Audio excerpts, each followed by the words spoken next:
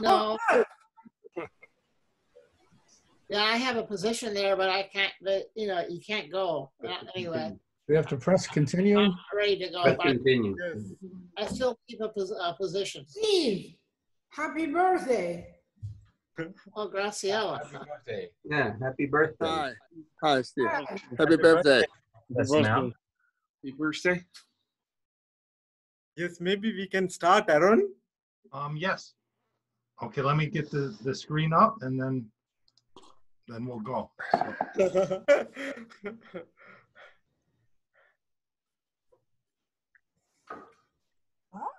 Oh, Very nice.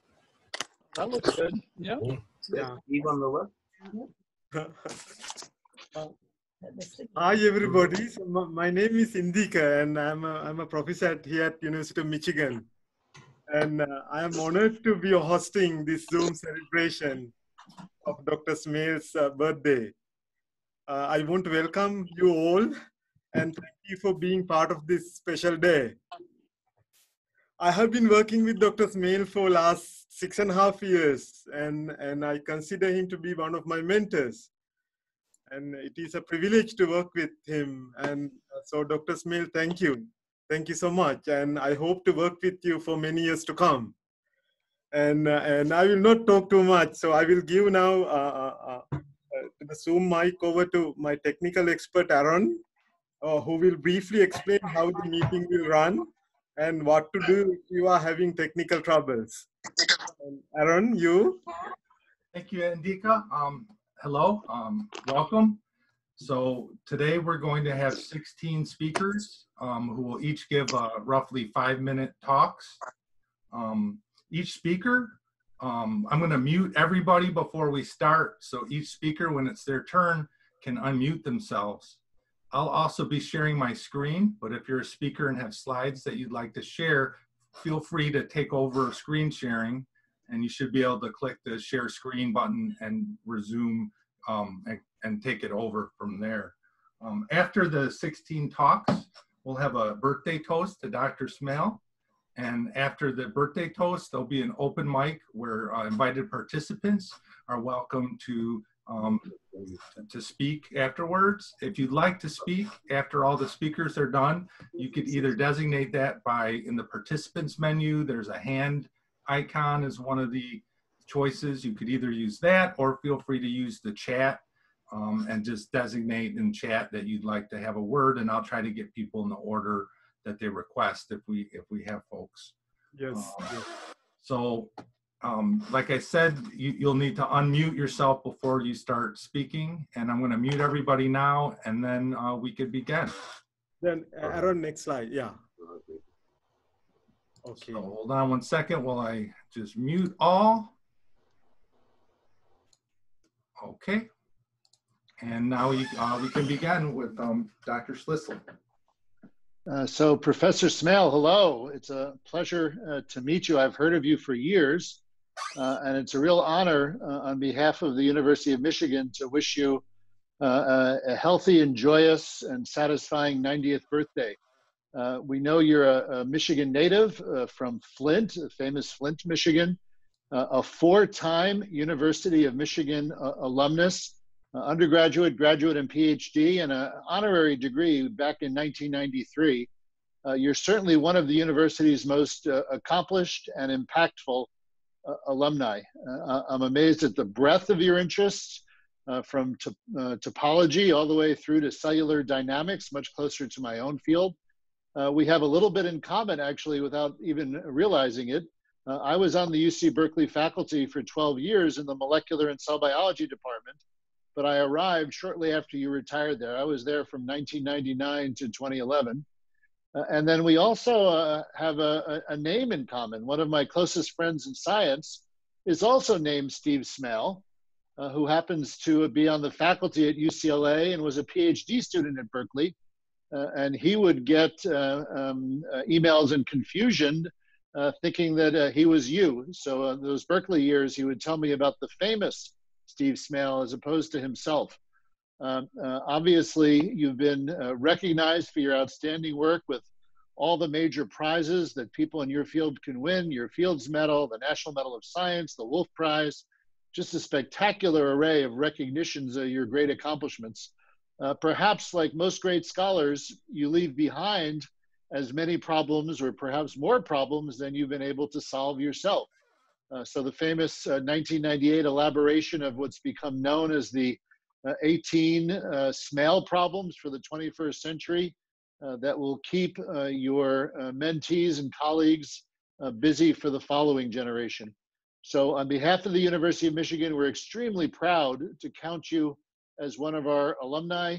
Uh, we uh, um, are uh, very uh, honored by your association with the university.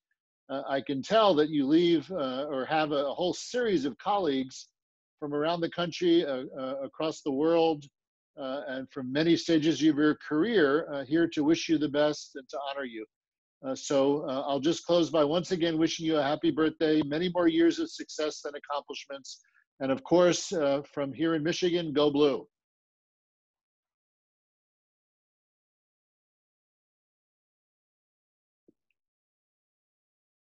Um, okay, so let's see.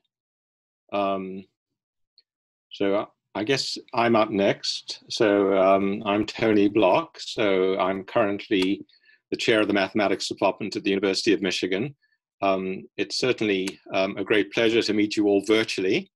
I wish you were all here in person and we could, um, we could welcome you to the great city of Ann Arbor. But nonetheless, it's still great to see you virtually and I hope we can welcome you here in the near future, hopefully perhaps even um, next summer. In any case, as Professor Schlissel uh, mentioned, um, Steve Smale has a, has a lot of wonderful connections with Michigan, as he mentioned, four degrees. Actually, on my slide here, I've mentioned only three, but he's absolutely right. It should be four, including the honorary degree. And he's received many wonderful honors, including the Fields Medal, um, recognizing his remarkable accomplishments in so many different fields. So the Fields Medal, of course, was for the high dimensional Poincare conjecture, but there are just a remarkable number um, of different accomplishments that are such a pleasure to talk about. So I only have five minutes here. I just want to say a little bit about my personal points of contact um, with Steve and a little bit how he's influenced my own career. I think my first virtual contact with Steve was through this uh, wonderful little book called The Mathematics of Time, which has this wonderfully seductive title and collects a whole lot of fantastic papers. Um, and of course, still only a very small selection of his work. Um, my second point of contact was when I was a graduate student at Harvard, where I met um, Raoul Bott, who in fact was um, Steve's advisor here at Michigan many years ago. So it was an indirect contact, but it was also a wonderful experience. It introduced me to many ideas associated with Steve, but also just gave me a life-lasting um, love of geometry. It was a wonderful course. Um, um, Raoul Bott gave us a wonderful survey of geometry. He was really interested in physics at the time and it, those are my two great interests in a way. So that gave me an introduction um, to the geometric aspect of Steve's work, and of course, I took away from it a love of Morse theory, uh, Morse-Bott theory, and of course that leads later to Morse-Smale systems. The third point of contact was more or less after I finished my degree where I met Jerry Marsden. So Jerry Marsden I met at a conference at Boulder, but this led to many years of work and I met Jerry many times first at Berkeley, then at Caltech, and at, and at those visits to um, to Berkeley, I met Steve a few times, and that was always a pleasure. I heard him give a colloquium there that was a lot of fun, and I had a few casual conversations as well. Uh, more recently, it's it's been great to have Steve visit uh, Michigan um, many times um, to um, talk to Indika Rajapakse, who you've just met. But it was a fun just talking to Steve about a lot of different things, um, going from mathematics to sailing from California down to New Zealand, I think. In any case, there were a lot of fun conversations, um, both about mathematics and um, the world at large. So um, just to give you a brief um, survey of some of the work, I know there's a lot and I'm sure you'll hear more from other people. One of my first introductions to Steve's work was through this wonderful work on topology and mechanics, where he introduced the energy momentum mapping. And this, this plays a huge role in, in mechanics in general, um, it uh, generalizes the effective potential um, in planar rigid, in planar uh, many body dynamics. And this led to a lot of wonderful work that I did over the years with Jerry Marsden, Tudor Ratiu, who's here, and many others. Um, one of the wonderful things about Steve, though, is he works in one area, does a fantastic thing, and then goes on to something completely different and makes a wonderful contribution to all of those. And these are reflected in some of my interests. One of my other interests is in linear programming. This came up in looking at so-called double bracket flows, which I also looked at with Tudor Ratiu and Roger Brockett, which are sort of gradient flows and are related to linear programming um, in the interior of the polytope rather than the simplex. Um, and of course, Steve made this wonderful contribution to linear programming on the simplex. And another sort of wonderful feature of Steve's work was applications to various kinds of physics, in particular electrical circuit theory. I mean, this was um, reflected earlier, of course, in the work of Bott. There's Bott-Duffin synthesis. But Steve also wrote this wonderful paper on mathematical foundations of electrical circuit theory. And again, this influenced much of my interests on Dirac structures, which describe certain kinds of circuits, and also uh, different kinds of gradient flows, in particular with indefinite metrics. Something I haven't really done much work on, but was also a point of interest with me and Steve was on economics. Of course, there's this wonderful work on general equilibrium theory with Debreu, and, and you saw Graciela Chichilnisky earlier. But another sort of brief introduction that I had to Steve was I went to a set of wonderful lectures on economics when I was at Cambridge, mainly doing control theory and mechanics. But Frank Hahn, who was a wonderful economist, gave these wonderful lectures and mentioned this work uh, of Steve. So that was another introduction. And finally, I just want to mention biology, which was really being taught to me a little bit um, by Indika Rajapakse. I've learned just what a complicated subject it is. My work was always in physics, but I've had this wonderful introduction to biology, to periodic orbits. And this goes back again to some wonderful papers of Steve on Hopf bifurcation theory on its applications, and led to more recent work um, with Indika on stem cells, and um, work with a postdoc here called Matt Kvalheim on periodic orbits. So this has been a wonderful bit of um, extra research that I've just come across recently. Anyway, it's been a pleasure to be associated with Steve, and uh, I look forward to more of it. Thank you.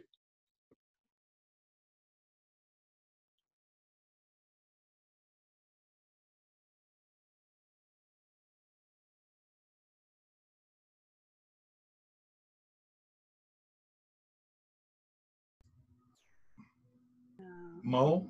Yeah. Mo Hirsch? Yeah, that's me. Yep, you're unmuted now. You're Now I'm good. on mute so I can talk. Yes, sir. Okay. Well, I'm very honored to be invited to this conference. It's a uh, first for me, or a new first, as we used to say, Zoom conference. I'm only going to touch a few highlights from Steve's amazing career. Um, there's much more, and much of this is taken from the Smale Fest volume, which was is a proceedings of a conference held in his honor in Berkeley many years ago. You don't have to buy it, just send me $5. As a graduate student at the University of Michigan, Steve was very active in radical left-wing politics, so much so that he was forbidden by the university to be the secretary treasurer of the chess club or treasurer of the Society for Peaceful Alternatives. He was a teaching assistant who got fired by the chair, Professor Hildebrandt, because of leftist activities. And Professor Ray Wilder advised Steve not to ask Hildebrandt for recommendations because Hildebrandt was warning prospective employers that Steve was a leftist. He got his PhD as a graduate under Raoul Bott, extending work of Hassler Whitney from maybe 30 years earlier. He was an instructor for a few years at Chicago, University of Chicago, where he directed my PhD thesis, thesis along with Ed Spanier in differential topology, which generalized his PhD thesis under Bott. And he was a wonderful teacher.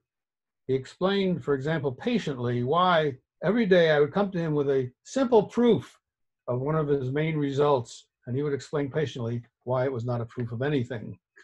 So that was very nice. Then he was a professor at University of California at Berkeley, except for a couple years at Columbia, which I'll skip over. He directed the PhDs of 44 students at Berkeley, including that of my son Michael, along with Rob Kirby. And over the years, he initiated the use of algebraic topology and dynamical systems in the theoretical, rigorous study of computation over the reals or the complex numbers or any field whatsoever. And part of this was work with Lenore Blum and Mike Shub, who are here. Then he stated and proved the generalized Poincare conjecture.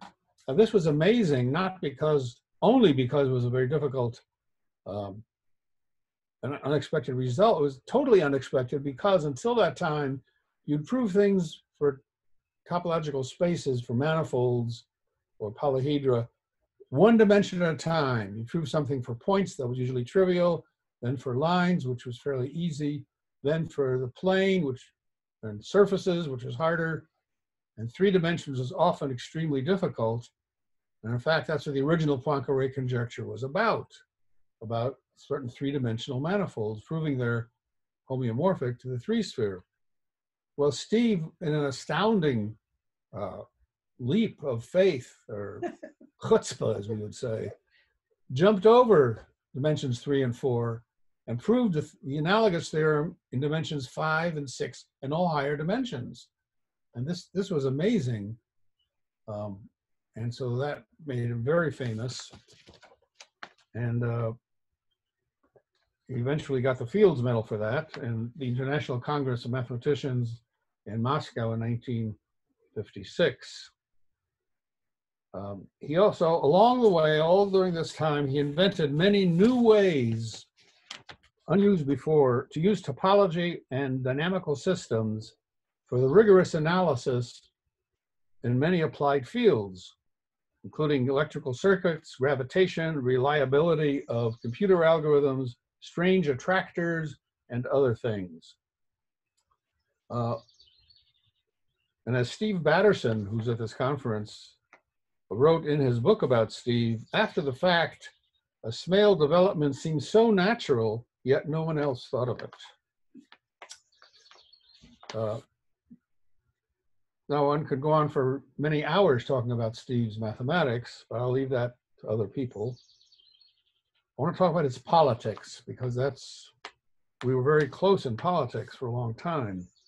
Ever since high school, Steve was active in left wing politics, which perhaps he inherited from his father, Lawrence Smale, a Marxist and atheist who was expelled as a freshman from Albion College for publishing attacks on religion and the president and other sacred cows.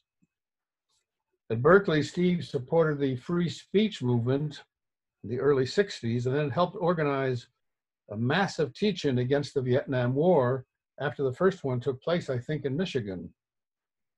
I recall his delight when the UC administration was forced to negotiate about the teaching with a group that included a high school student or maybe a junior high school student.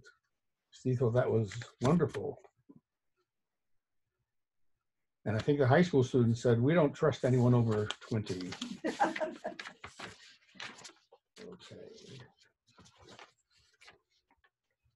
Well, the, the Vietnam Day teach-in was an enormous affair, affair.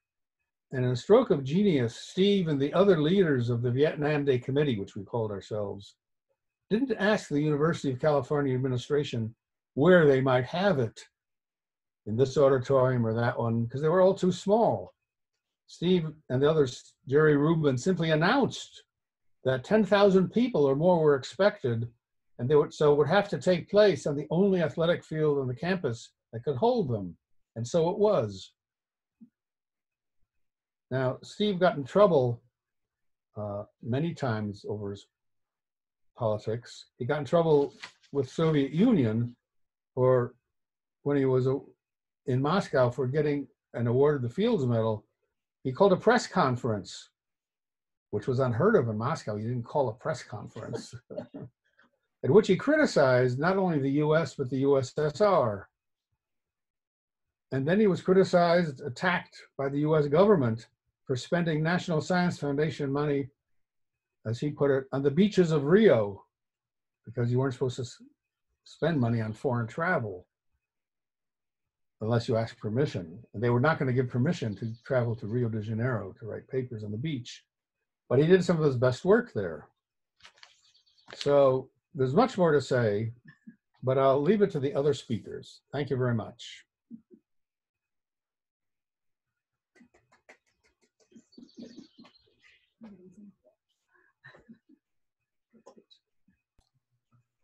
Um, next speaker is Nancy Kopell. If you could unmute yourself, and you're welcome to begin.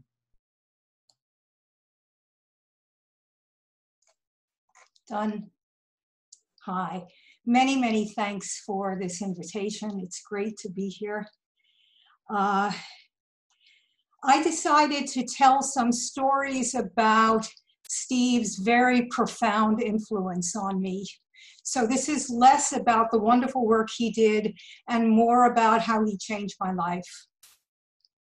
So along with Mike Shub and Jacob Palis, um, I had the privilege of being in the first pod of Steve's students. And how that happened is not at all straightforward.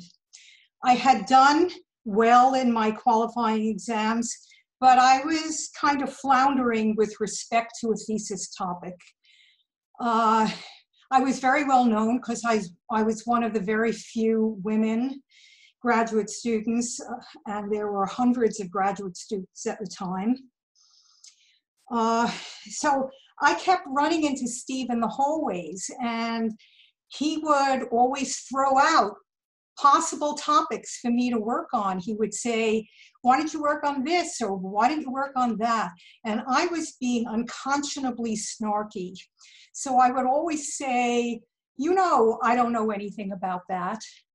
And finally, one day, he suggested a topic um, for which I couldn't answer, to which that, that reply of mine was irrelevant because nothing relevant was actually known about this. Um, it was on commuting diffeomorphisms, and it was hard for the same reason it was accessible without knowing anything, which is that there were no tools at all to deal with it.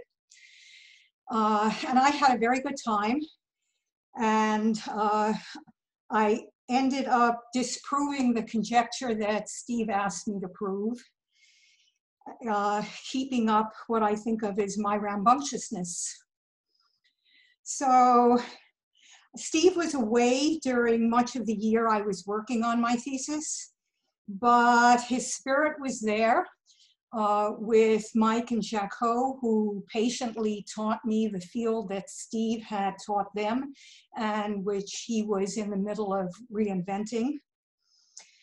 Uh, as I recall, this group would meet almost daily and each day we asked each other what we had proved since yesterday. And uh, the answers were affirmative frequently enough that we all got through very nicely. I had one fight with Steve, and that was when I, after I got my first result, he was in Princeton, and I, and I went down to visit him, and I showed him what I had been working on. It was, it was a proof of something. It took three pages. Later, it got down to half a page. And he looked at it and he said, well, you have a thesis. And I said, What? This little thing? And he said, You will have a thesis in the spring. And notice th this was already the fall. So there wasn't very much more time between then and the thesis. But um, I took it as a kind of command. And by the spring, I had a respectable number of pages. And indeed, I got my degree. So uh, it was all a very major adventure, and I have forever been grateful to Steve for making all of that possible and not letting me drop between the cracks. So thank you, Steve, for everything you've done. Uh, one more thing is uh, shortly after I got my degree, I, I switched into applied math and of course, Steve has done many, many things. And sometimes later, he was starting to work in areas of applied math that also interest me. And he was kind enough to send me some papers. And I joked that Steve had followed me into applied math. Uh, but of course, Steve never followed anybody. And so I'm really, really glad and happy to be able to celebrate now his very long and unique career. Thank you.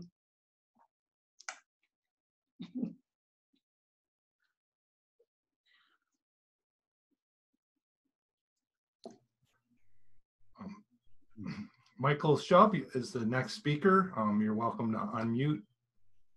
I did. I don't know if anyone can hear me. My voice is so low. Uh, I'm happy to be here. I see so many friends. It's great. And uh, my teachers as well, uh, Mo and Ralph. It was great to see Mo and Ralph. And uh, I, I, haven't seen Charles here, but, uh, and Steve, of course, Steve especially uh, is maybe one of the most important people in my life as a mentor and as a collaborator and as a friend. But on the other hand, I've been giving these talks now uh, at ages 60, 70, 80, and now 90, and I really uh, don't have any stories left to tell. Uh, I'm hoping to have a few more turns, uh, um, but uh, this is Ann Arbor. Maybe I can tell one other that is special to the place uh, where Steve was a student and Raoul Bott was his advisor and Ed Moise was also on the faculty. So Steve uh, has always been great about involving people in uh, his projects and he's got huge influence, many, many people constantly working on things. And he's also personally very uh, active and uh, at graduate student days in Berkeley, he made a lot of very good parties. And at these parties, there was always one big bottle of gin sitting on the bar. And near the bottle of gin, there was a bottle of onions. So I learned to drink what are called Gibsons at the time. And even though I failed the German exam uh, six or seven times, I did manage to drive home down the hill uh, at the end of these parties and survive the experience. But some years later, I'm talking to Ed Moise, and Ed told me that the gin was an Ann Arbor tradition and that they kept the gin in the freezer so that if you put ice in the drink, actually the drink would get stronger because the water would freeze to the ice. So uh, there's a, an Ann Arbor tradition that has great effect through the world. And in my case, I keep the gin in the freezer. One uh, last thing is uh, Carl Reiner. I don't know if you saw in the paper, he died the other day. Uh, he's 98 years old. He was a great comedian. I remember him very much from something called The Show of Shows, which was Sid Caesar had those days. And uh, uh, there was this great interview that Carl Reiner used to do with the old professor who was Sid Caesar, and he came out with a squashed top hat and a dirty raincoat, and they had a hysterical uh, interchange. So at some point in his 90s, Carl Reiner was asked, did he plan to retire? And he said, retire? I may be old, but I'm not crazy. So luckily for the math world, Steve is not crazy. Happy birthday, Steve.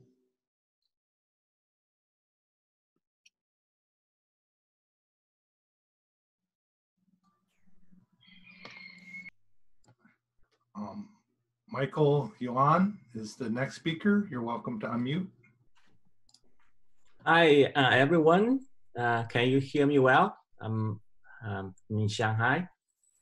Uh, it's my great pleasure to meet you all. Um, I'm a former PhD student of uh, Professor Smale. I first read a paper uh, written by Professor Smale. Uh, the name of the paper is Fundamental Theory of Algebra and the Complexity in early 90. Uh, that time I you know, I was in the math program in Zhejiang University in China. I immediately got very interested in Professor Smale's approach in analyzing the complexity of Newton's method in solving uh, a broad class of uh, polynomial equation.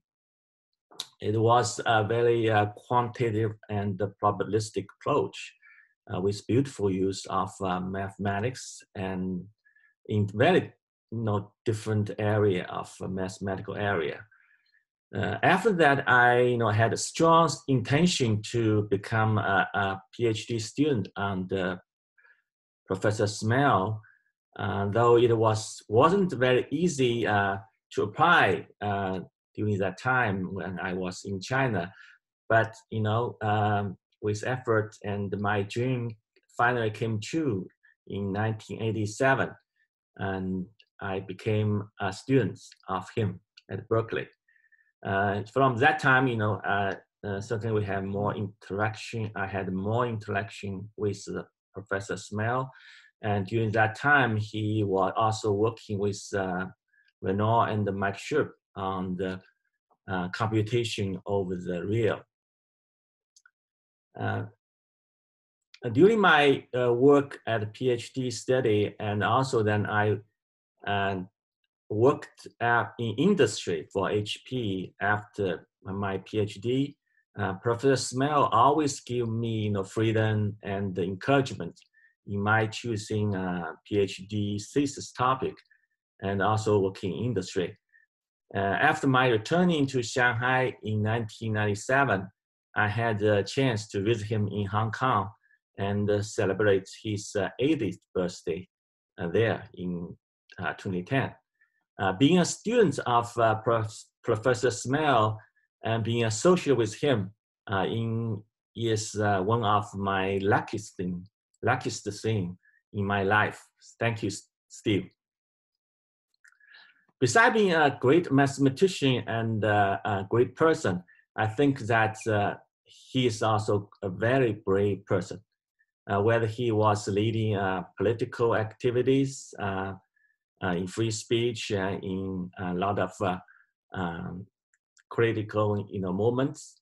And all he was sailing uh, in long distance and time, and uh, all was penetrating into so many, many very different research area in mathematics and science. He had always shown his braveness and confidence. A few years ago, uh, my company, UniDT, and I studied uh, Smale Institute of Mathematics and Computation. The institute, you know, is a way of honoring Professor Smale and promoting the research in the in, in the important problems in mathematics and computation, uh, such as uh, uh, Smale uh, 18 problems for 21st century. Uh, Smale Institute has supported a few scholars since then and is still exploring ways to uh, make it as an open and uh, global institute. Uh, Smale Institute uh, intended to have a gathering actually with conference later this year in China, but uh, needed to be delayed to next year or, or at the appropriate time due to COVID-19. So I hope that uh, we will see uh, many of you uh, in the coming gathering. Finally, I would like to say Dr. Smale, happy birthday and wish all your best and happiness. Thank you.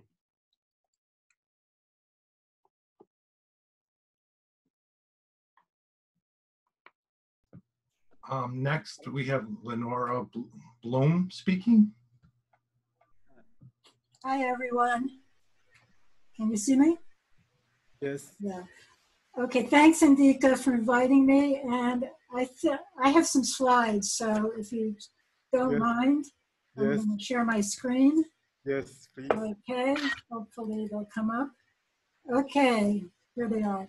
So happy birthday, happy 90th birthday, Steve. Um, here's a cake. I haven't baked it, but there's a cake here for you. Um, I was thinking yesterday, since you were born right after Bastille Day, it was only natural for you to carry on the revolution, which you have done most of your life. So I don't know if anybody else has taken that, noticed that connection, but um, I think that's very natural. Okay. And I think you always tell me your birthday is Bastille Day. Um, on the occasion of your 90th birthday, I'd like to take this opportunity to thank you and also your students for supporting me in my research these many years. But also, you were um, partly uh, responsible for my detour from research for almost 15 years. And let me explain. So when I was at Berkeley, um, in the late 60s, early 70s, it was, as usual, a hotbed of political activity, which you and Mo were very central to. And in the spring of 1971, you and Mo and John Rhodes had organized a colloquium on social problems connected with mathematics. Um, and you asked me to talk in one of the colloquium talks on women in mathematics. But I said to you, I don't really know anything about women in mathematics. So I didn't really know anything at all, and I hardly knew anybody, any woman in mathematics. So what I did was I put together a panel, and I found three people who were really great. Ravenna Helson, who was a historian at Berkeley, who knew a lot about the history of women in mathematics. It was the first time I'd ever heard of Hypatia, for example. Um, uh, actually, that was Sheila Johansson, who was the historian. Ravenna Helson um, was a psychologist, and she had, in the 1940s, uh, done a research study on all women in the US who had gotten PhDs in mathematics and looked at their personality types. And the third person I got for the panel was Elizabeth Scott, who was a good friend of mine, and she was the head of the statistics department. And she had just done a wonderful study on um, the status of academic women at Berkeley. So um, we started this panel and people kept coming in, more and more people. It was just so packed, people couldn't even get in the room. I guess women in mathematics was really uh, the attractor. Um, but after that, I became known as the expert on women in mathematics, at least on the West Coast. And many of the women graduate students started congregating around me. So uh, I guess I should blame Mo as well as you, Steve, but you're the one that asked me to do this.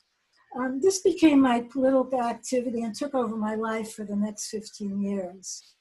Um, we became the West Coast contingent for the Association for Women in Mathematics, and I became its third president after Alice, Mary, and Alice.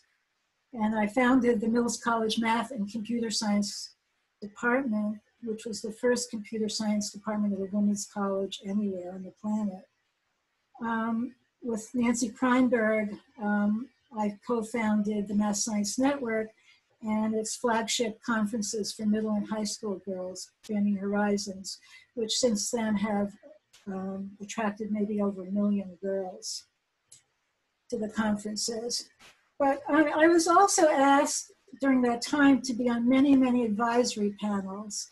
And one of them was at NSF CEOS, that's the Committee on Equal Opportunity of Science and Technology. And um, the thing I feel proudest of is um, a program which I really initiated, I helped create, called Visiting Professorships for Women. And this would give women scientists who are typically at smaller teaching schools a year visiting more research centered institutions. Um, the professorships would be at full salary for a year, and the universities would get the usual NSF negotiated overhead rate, which is typically way over 50%. So usually NSF grants are for two months, summer salary, but these were 12 month grants, so you can imagine the overhead was pretty large. Universities quickly realized that this would be a windfall, windfall. So the grants became very prestigious and many universities vied to get a VPW, visiting professorship for women in their school. So I felt really proud of that.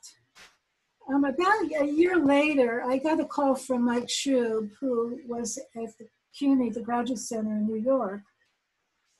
And what he says to me is, I just got an email from NSF about a program called Visiting Professorships for Women, and I think you would be perfect for it. So I was totally shocked because I had never envisioned myself as a, as a beneficiary of a program that I had initiated. So I applied and actually I got a VPW and I was able to spend actually two and a half years in New York with Mike. And that led um, to the work I did with Mike um, on evaluating ration functions, infinite precision is finite cost and tractable on average. Um, this was really important because it really um, led the way to justify the real number model when we said that the loss of precision, actually, the average loss of precision, or that was, in other words, the average lo uh, log of condition, was essentially very tiny with respect to the salient uh, parameters. We then started working um, with Steve and uh, with my using some of my uh, logic and recursive function theory background together with the kind of thinking that Mike and Steve had done, we wrote this paper on a theory of um, computation uh, and complexity of real numbers, NP completeness, recursive functions, and universal machines. And this was the foundations for a lot of uh, work on complexity in numerical analysis. Our model became known as the BSS model of computation. And then Felipe Cucker joined us and we wrote our book, Complexity and Real Computation. And here's one of my favorite photos of Mike and me and Felipe and Steve taken by Victor Pan. And, and as you know, um, we did this work, this book in uh, Hong Kong. And here's another one of my favorite pictures um, with Steve and Clara. And Steve's mom is there. And there's Beata and uh, Mike and Felipe and Teresa Krick, who's also part of our community, uh, which was a fantastic community in Hong Kong. And we spent two really wonderful years and we went back for other birthdays there. So, um, so thank you again, uh, Mike, Steve, and especially also for your students, in particular Mike Shub, who re-engaged me in research. I'd also like to thank Jim Renegar, who actually was um, total supporter of mine throughout the years. Anytime I'd send him a paper or I'd give a talk, he would come back to me like it was the best thing since sliced bread. So that really encouraged me a lot. And more recently, I'd like to thank Michael Schwan, who is um, supporting our current research with Manuel and Avrim on a conscious AI. So Steve, you and your students have really led me through my, re my reconnection with research all these years and doing wonderful stuff with wonderful people. I'd also like to thank Nancy Kopell for being the existence proof. Um, I met Nancy when I was last year graduate student at MIT and she was a Moore instructor and she was probably the first woman serious mathematician I ever met. So I met Nancy way before I met you, Steve. And so thank you, Nancy, for, for being, for your existence. Um, very important to me. So as Mike said, we've celebrated your 60th, your 70th, your 80th, your 90th. And so I'm looking forward to your 100th. And uh, everybody stay safe, everybody, so we can all celebrate together. Um, okay, happy birthday, Steve. Okay, bye-bye. Hello, Felipe Cucker will be the next speaker. If you unmute and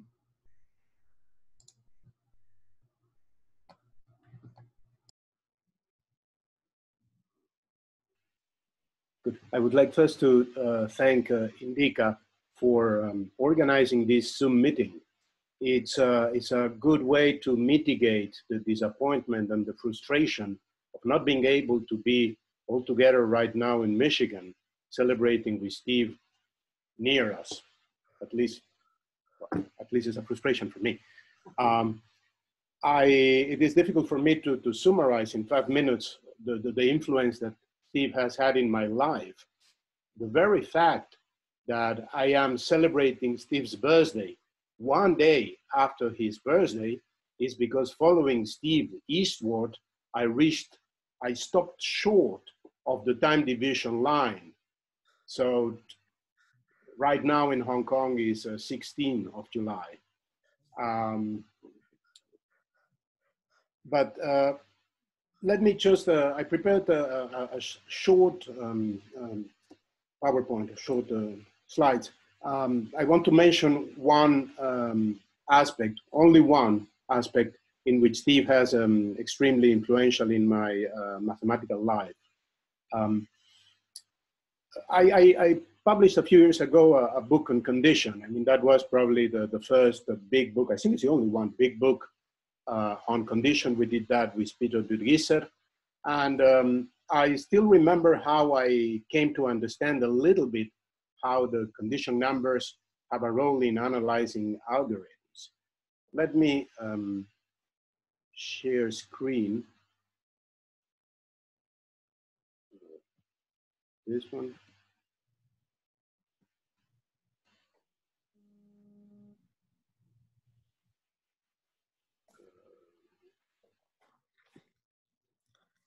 Is it okay? Yes. Good. So um,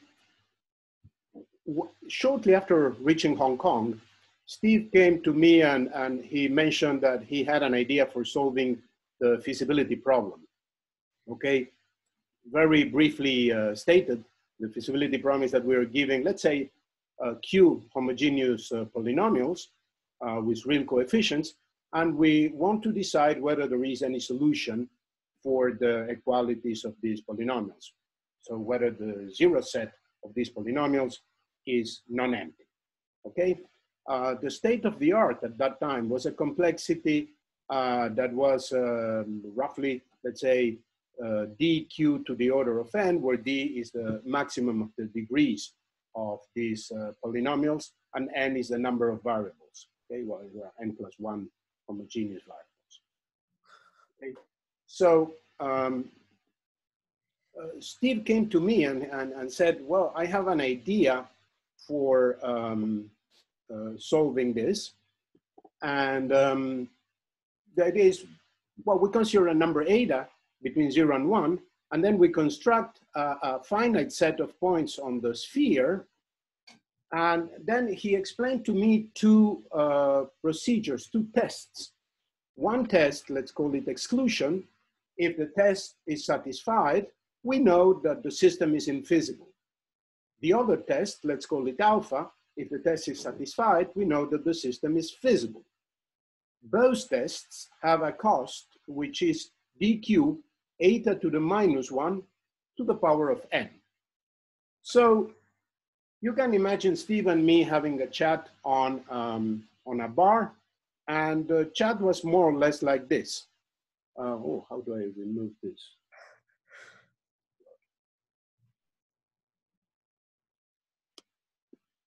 So I asked Steve, what if none of the two conditions is satisfied?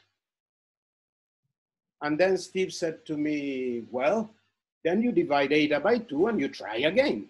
I mean, the finer is eta, the better, the more chances you have to um, satisfy one of the two conditions. And then, but we don't know how many times we must iterate this procedure. Well, this depends on the condition number of f. There came the word condition. So complexity bounds are in terms of the condition number as well, and not only on n, q, and d. It may even happen that we iterate forever. So to me, this didn't make any sense.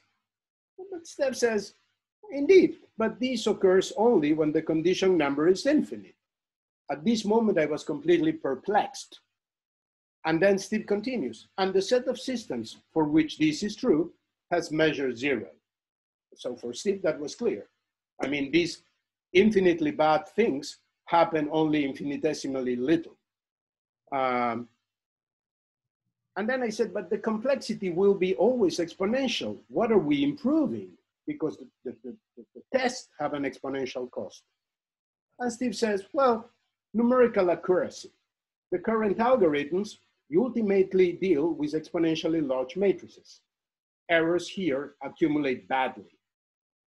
We instead will perform exponentially many independent computations with polynomially small matrices. Errors should not accumulate that bad. Well, the result is a paper we published shortly after in the Journal of the ACM. And, and here comes one thing that um, it has been mentioned now uh, that Steve has worked in an amazing number of uh, different subjects. I learned that one of the secrets of Steve for doing that is that he considers a problem, solves the problem, and then he manages to completely disentangle himself from that problem and to go to a new one. So very shortly after publishing this paper, I went very excited to Steve and I mentioned to him, because I, I was understanding the idea of condition numbers. Steve, if we modify the condition number that we use for our paper, we can do another algorithm that will not only decide feasibility, but return a zero if the system is feasible. And Steve looked at me with the most profound disinterest and say, okay, you can do it, you can do it. So I, I actually, well, I am not like Steve and many people are not like Steve. So we keep, you know, getting all the juice we can from nice ideas. So uh, I kept working on that. And uh, between 2008 and 2012, I had the, the luck to collaborate with Teresa, Gregorio, and the late Mario Wschebor. Uh, and we used the same basic idea of uh, considering a grid of points in the sphere uh, and, and, and, using some tests. And, and, and we uh, got an algorithm and a very nice analysis of the algorithm for counting zeros of polynomial systems. Good more recently, uh, together with uh, Peter, Teresa, Pierre Lairez, Mike, and, and Josue Tonelli, in a series of other papers, we use the same idea plus an, another idea of Steve that comes from a different work that Steve did with Partha Niyogi and Shmuel uh, Weinberger. And we actually uh, managed to compute homology groups for arbitrary semi-algebraic sets. And the funny thing here, the nice thing here is that the algorithm is not only numerically stable, but it has uh, better complexity bounds. So actually these algorithms are now the state of the art concerning the complexity of computing homology groups. So um, as you can see, in, in, in my case, I, I started with a small um, uh, coffee uh, discussion over a coffee in which Steve told me an idea that I uh, first considered um, impractical and end up learning that uh, there was a pot of gold uh, in this idea. Thank you very much, Steve.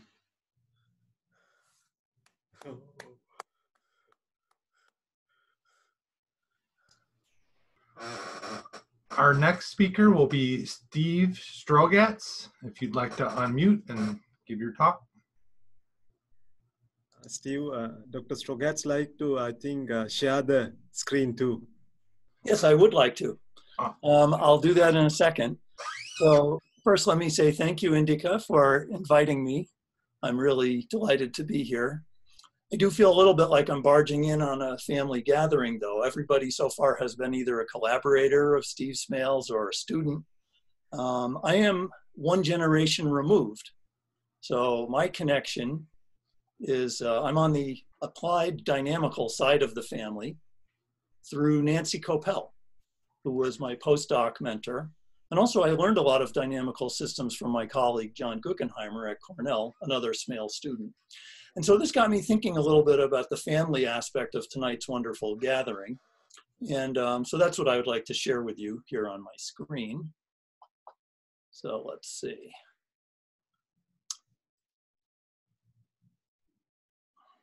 There. So uh, here I am. And as I say, Nancy was my postdoc advisor. And as you've already heard, she connects to Steve as a direct student. And so this got me thinking, well, why stop there? I mean, the rest of the story is something that pretty much everyone at this meeting can relate to. Let's take this back because, you know, a lot of us here are interested in the continuous side of math, uh, analysis, geometry, dynamical systems, topology. And you will see that in our family tree, there are some pretty illustrious stars in those fields. For instance, we've heard the name Raoul Bott. I did actually get to know my great grandfather a little bit. I was a teaching assistant for him, um, teaching calculus at, at Harvard. So, yes, there's Professor Bott, Steve's mentor, uh, who, and I think we've heard the name Duffin earlier tonight. Duffin Bott, something about electrical circuits.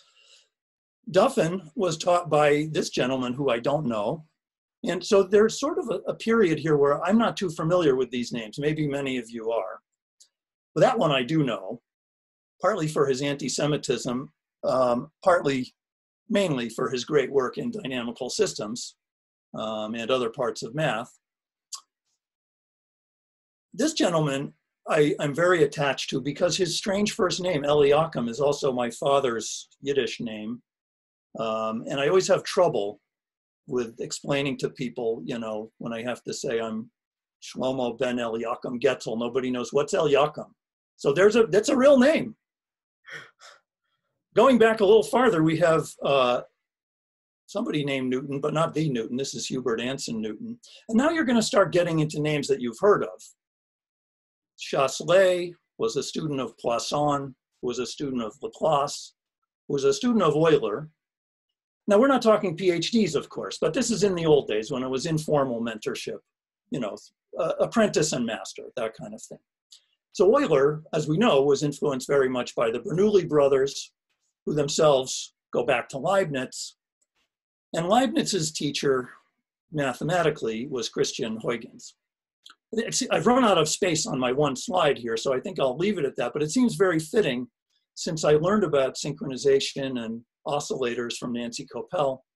And Christian Huygens is the first person to understand how it is that nonlinear oscillators, in his case, coupled pendulum clocks, could get in sync.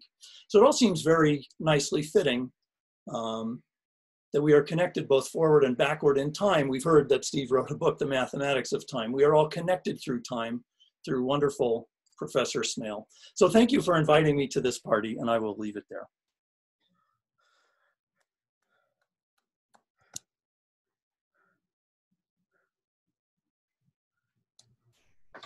And our next speaker will be Chandler Davis. If you could please unmute.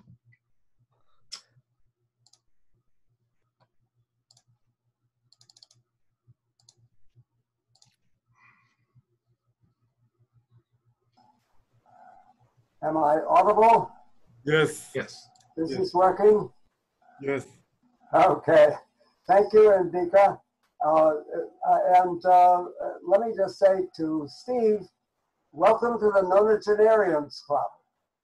Uh, you, you, you'll find it's uh, very friendly here. And uh, let me just say to so many friends whom I see on the screen when you show the gallery that uh, it's nice to see you all, even if we're not all together in Ann Arbor. It's very pleasant indeed. Now, I, I may be, uh, I think, one of the few speakers in this uh, conference for whom Ann Arbor is um, back to the beginning.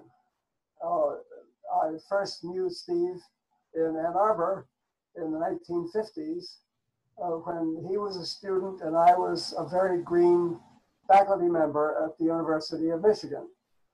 And um, uh, we were also in the small minority of left-wing activists at a time when that was a dangerous occupation.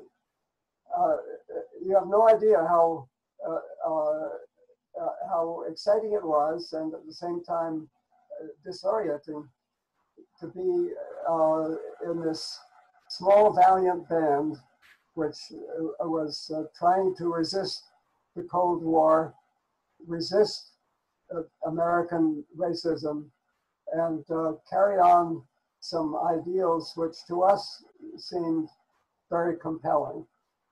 Uh, the the uh, the um, activities of our little troop were often at odds with the administration of the University of Michigan.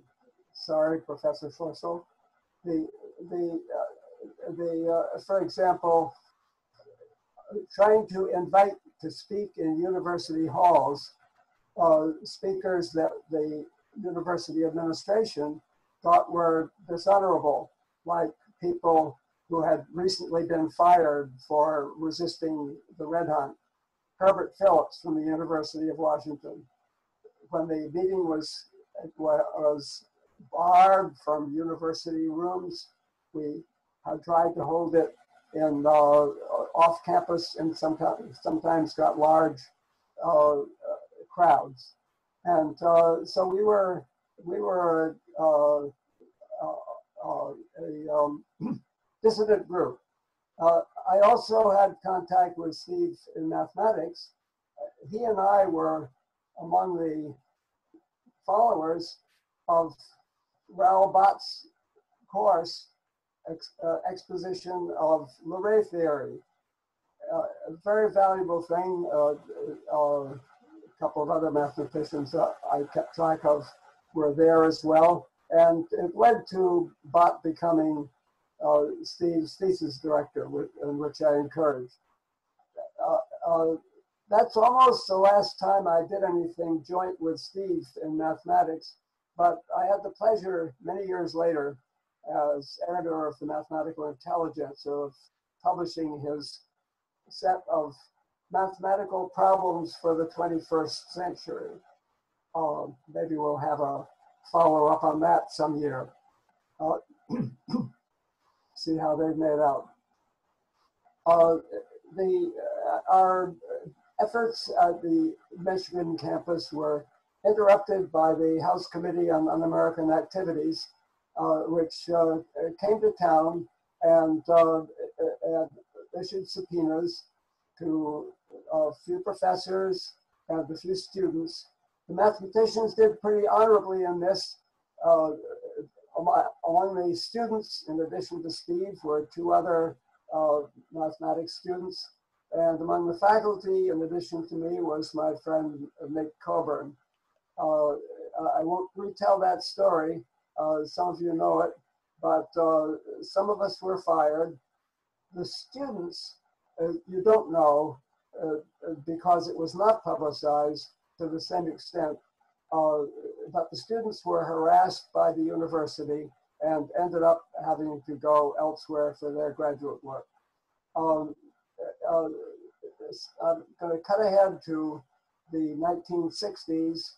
Uh, Steve was still a radical, still uh, uh, trying to turn things over at the time of the Vietnam War. And at Berkeley, he was one of the faculty who supported the free speech movement in 1964. But uh, along with Jerry Rubin and um, uh, Abbie Hoffman, he was uh, one of the conspicuous leaders of the Vietnam Day Committee in 1965.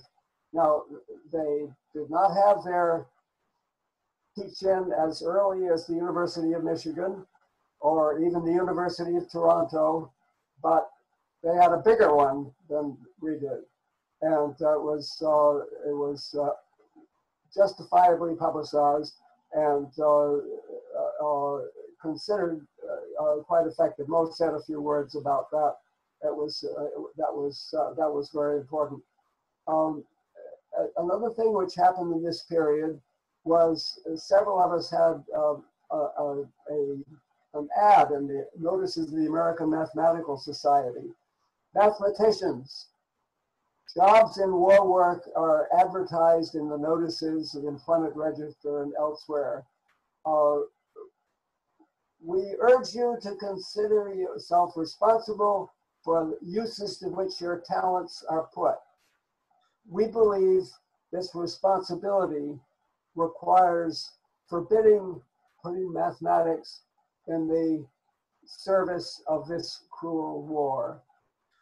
We got 400 signatures of mathematicians, if you can believe it, and for an ad in the notices. Notices wouldn't publish it as a letter to the editor, uh, so we had to pay for an ad. Um, Steve uh, and Mo and I and, and, many others who are in this conference were among the signers. Um, the the um, uh, uh, I'm going to kind of add once again uh, uh by uh, to the um, Moscow International Congress. Uh, a Japanese mathematician Iyanaga interested Laurent Schwartz in getting an international petition against of mathematicians against the war in Vietnam. Uh, uh, Schwartz got Steve Smale interested, and uh, really the the um, the endorsement of Schwartz, uh, uh, a, um, a, Fields medalist in 1950, and Steve Smale, who perhaps ought to have been a Fields medalist in 1962, was um, uh, was uh, was the talking point. Um, we went to the Congress in Moscow, and uh, some of us tried to get signatures from mathematicians in many, many different countries, Romania, Soviet Union, and so forth. And uh, some people in the Soviet bloc said, oh, well, of course, everybody will sign that here, implying that it was easy to sign. And others said, well, but of course, you know, we can't sign anything. And uh, it turned out in the end that many people signed from many countries. It was highly successful in the original terms. And uh, so thank you to Schwartz and Smale for the um, uh, send off of this uh, very successful uh, uh, uh, effort. Now, these statements against the war meant that people like Steve had good lists of mathematicians against the war. So when we came to the summer of 1968, uh, it was uh, possible to collect mathematicians on their way to an AMS meeting for a little fringe activity in Chicago. The Democratic Party was holding its its convention, and uh, the Democratic Party was also the party, let's face it, which was overseeing the escalation of the war in Vietnam. And uh, so we had a little march against the war in Vietnam uh, under the name Bourbaki Brigade, which is lighthearted, but um, with signs making our uh, sentiments clear. One of the slogans, which I think may have been coined by Steve was troops out of Vietnam, Chicago, and Prague. This was the moment when the uh, the um, movement for, democratizing the uh, uh Czechoslovakia was being suppressed by Soviet intervention. Uh, uh, we weren't sectarian. It was important that we weren't. Uh, the, the activities that Steve and the rest of us conducted over the next years were uh, uh managed to escape the factionalism, which was uh, weakening the uh, so many of the things that, that were done in, in politics in those days. Uh, the new left started out uh, as, as in the Berkeley Vietnam Day Committee uh, as a wonderful coming together of different currents of the left uh, and burying their disagreements and collaborating. And this was splintering into factionalism on every hand in 1970, 1967, 1968, and it didn't touch us. And uh, I, I, think that, I think that we uh, we uh, we did very well, and uh, in a, in a spirit of cooperation, which somehow must be recovered. Now I say we, assuming that Steve, like uh, like uh, his former colleague Mel Rothenberg, or myself is a lifelong radical. Steve denies this. Steve, Steve began telling his friends in uh, the 1980s, I'm not a radical anymore. Uh, I don't know exactly what he meant by this. Uh, maybe I don't want to know. Uh, I rely on Steve uh, to remain a, uh, critical mind, able to focus on the essential and able to recognize important problems. And uh, uh, to me, that means he must still be a radical. And um, uh, let me let me hope so. Uh, hello to all of you, and uh, again, congratulations to Steve and welcome to the club.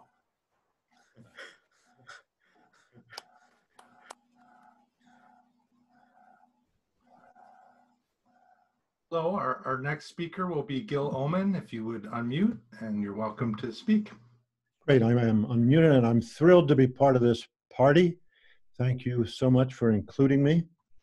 Uh, I'm a physician, actually, and a member of the Department of Computational Medicine and Bioinformatics, which I helped create here at the University of Michigan.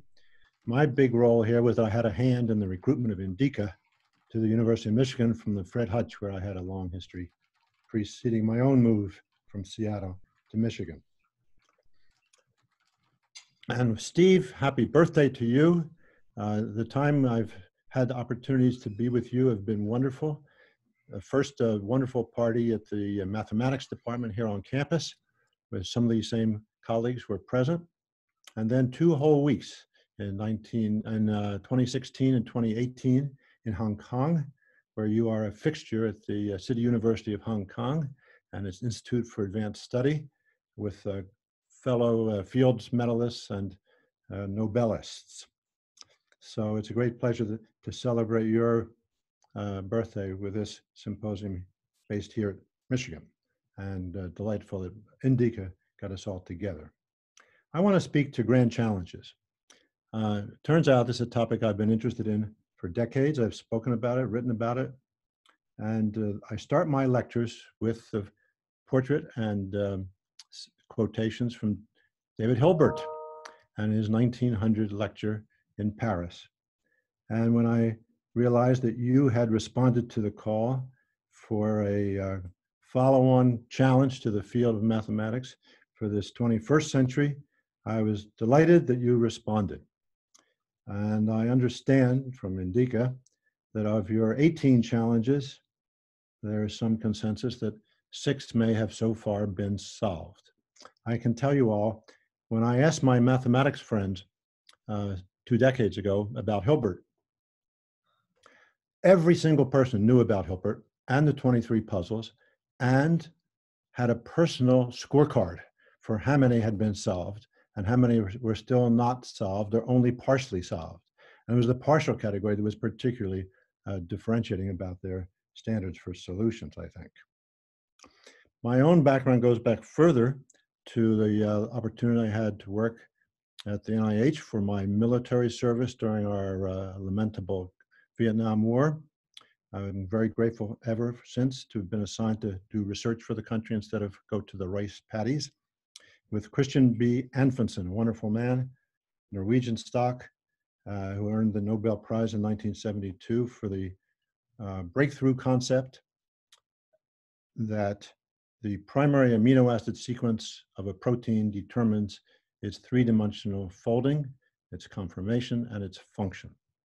And he did the experiments to prove his theory, which is a quite unusual feature in science. I'm actually giving another lecture about grand challenges in science and technology and public policy. Um, sometime in the next few months it was postponed from April 24 at the uh, local university not far from here. Another topic that caught my eye, actually, as I was reading up about you and telling my 14-year-old son who's taking a 10th grandson who's taking a, a special mathematics course in Seattle this summer, um, when you were elected to the National Academy of Sciences in 1970, given all we've just heard about your radical positions, it did not seem to impress you too much until you got a message sent to all the members from Dick Lewontin, a geneticist, evolutionary biologist at Harvard, that you considered to be a potential kindred spirit.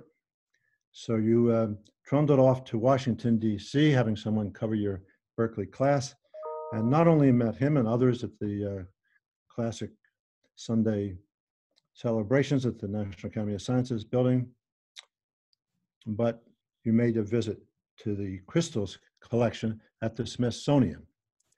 And Jacob, my grandson, and I had a wonderful couple of hours working our way through several websites, including your own, on your crystals connection, uh, collection. And not only the crystals, which are wonderful, the two we most liked were halite on sylvite and crocoite, the first from Carlsbad, New Mexico, and the second from Tasmania. But your descriptions and your photographs are also wonderful. I imagine most of you are quite familiar with these collected items. Finally, I want to say a word about the National Medal of Science. This is a truly uh, extraordinary award, especially for a man with your political history. And it was good that uh, President Clinton uh, honored you in 1996. I've been to several of those ceremonies when I worked in the uh, White House, and, and I've been invited for other winners.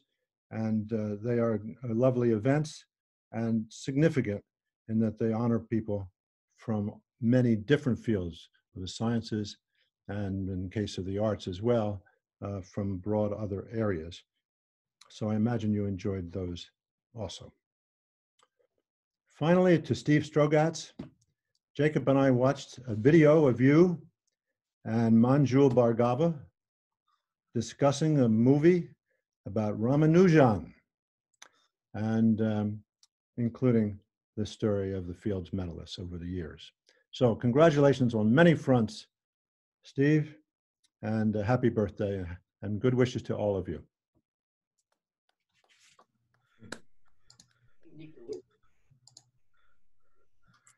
Hello, our next speaker will be Sri Kumar. If you would like to unmute and give your talk.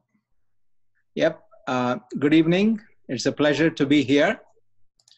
Often, early in our life, we get to hear about people who have made great contributions to humankind, but seldom do we get to meet them. In the rare event we do meet them, seldom do we get to work with them. Now, I had heard about Steve when I was a student undergrad, graduate via his books and differential equation. About five years back or so, I actually got to meet him at a DARPA review meeting of Indika's project work on biology. we were deeply intrigued by his ideas on mathematics of the genome, cellular reprogramming, and so on, but even more intrigued by his energy and enthusiasm. So in fact, when we prepared the funding papers based on his ideas, uh, we had to give, you know, the little bio of the principal investigators also there. One of the people approving this proposal questioned, isn't he too famous and senior to do our work here? We said, wait and see. He will beat the youngest of the DARPA performers, researchers on tireless effort and producing real results unsurprisingly, he has generated some really very interesting and great results in the mathematics of biology, Turing morphogenesis, which I believe will be path breaking and ha have a lot of impact on practice, both in terms of designing laboratory experiments and perhaps even medical practice.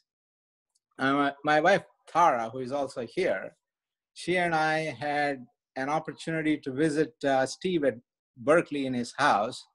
Had some uh, good wine, put away a couple of bottles, no. and a great time seeing the marvelous precious stone collection that he has. Now, Tara is an economist, and she was surprised to find out that Steve wrote one of the first papers in General Equilibrium, which Tony Bloch earlier referred to.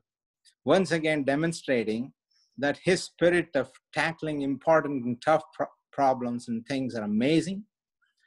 And uh, spreading beyond math to fighting the fight for everyone. Yesterday Tara and I were walking by the Kennedy Center and we were just discussing what to say here. And we came across President Kennedy's quote on the wall of the Kennedy Center, which we have adapted to suit this occasion here. So quote, decades to come, many will think of Steve's theorems and lemmas, but the ones who know him will never forget his spirit. Steve, happy birthday from Tara and me. Happy birthday.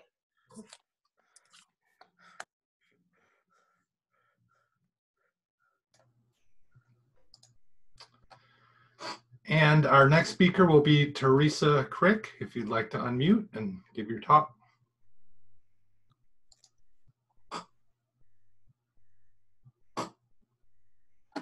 Hello, everybody. Hi, Steve. I just want to say that I met Steve for the first time exactly 25 years ago on July 15, 1995. And this was in Park City. It was a reception for his birthday. Actually, it was in that co fantastic conference that Steve organized in Park City 25 years ago. It was a one month conference. And I think that there are a lot of friends here who were there, and everybody remembers it so well. It changed uh, the lives of many of us. So, actually, uh, Steve was interested at the time on a subject I was working on. So, he invited me to Hong Kong. I visited him several times, and Felipe was there, and Mike was, was there, and Lenore and uh, Manuel were there too. And then also Steve came to Buenos Aires for a couple of times. And most importantly, Park City was also the birth of the FOCM Society, which is so close to me. So all these things, Steve, completely changed my mathematical life. And I thank you so much for that. And happy birthday. Thank you and happy birthday. Thank you. Thank you. Bye. Um, and our next speaker is Laura Smale. If you'd like to unmute and talk.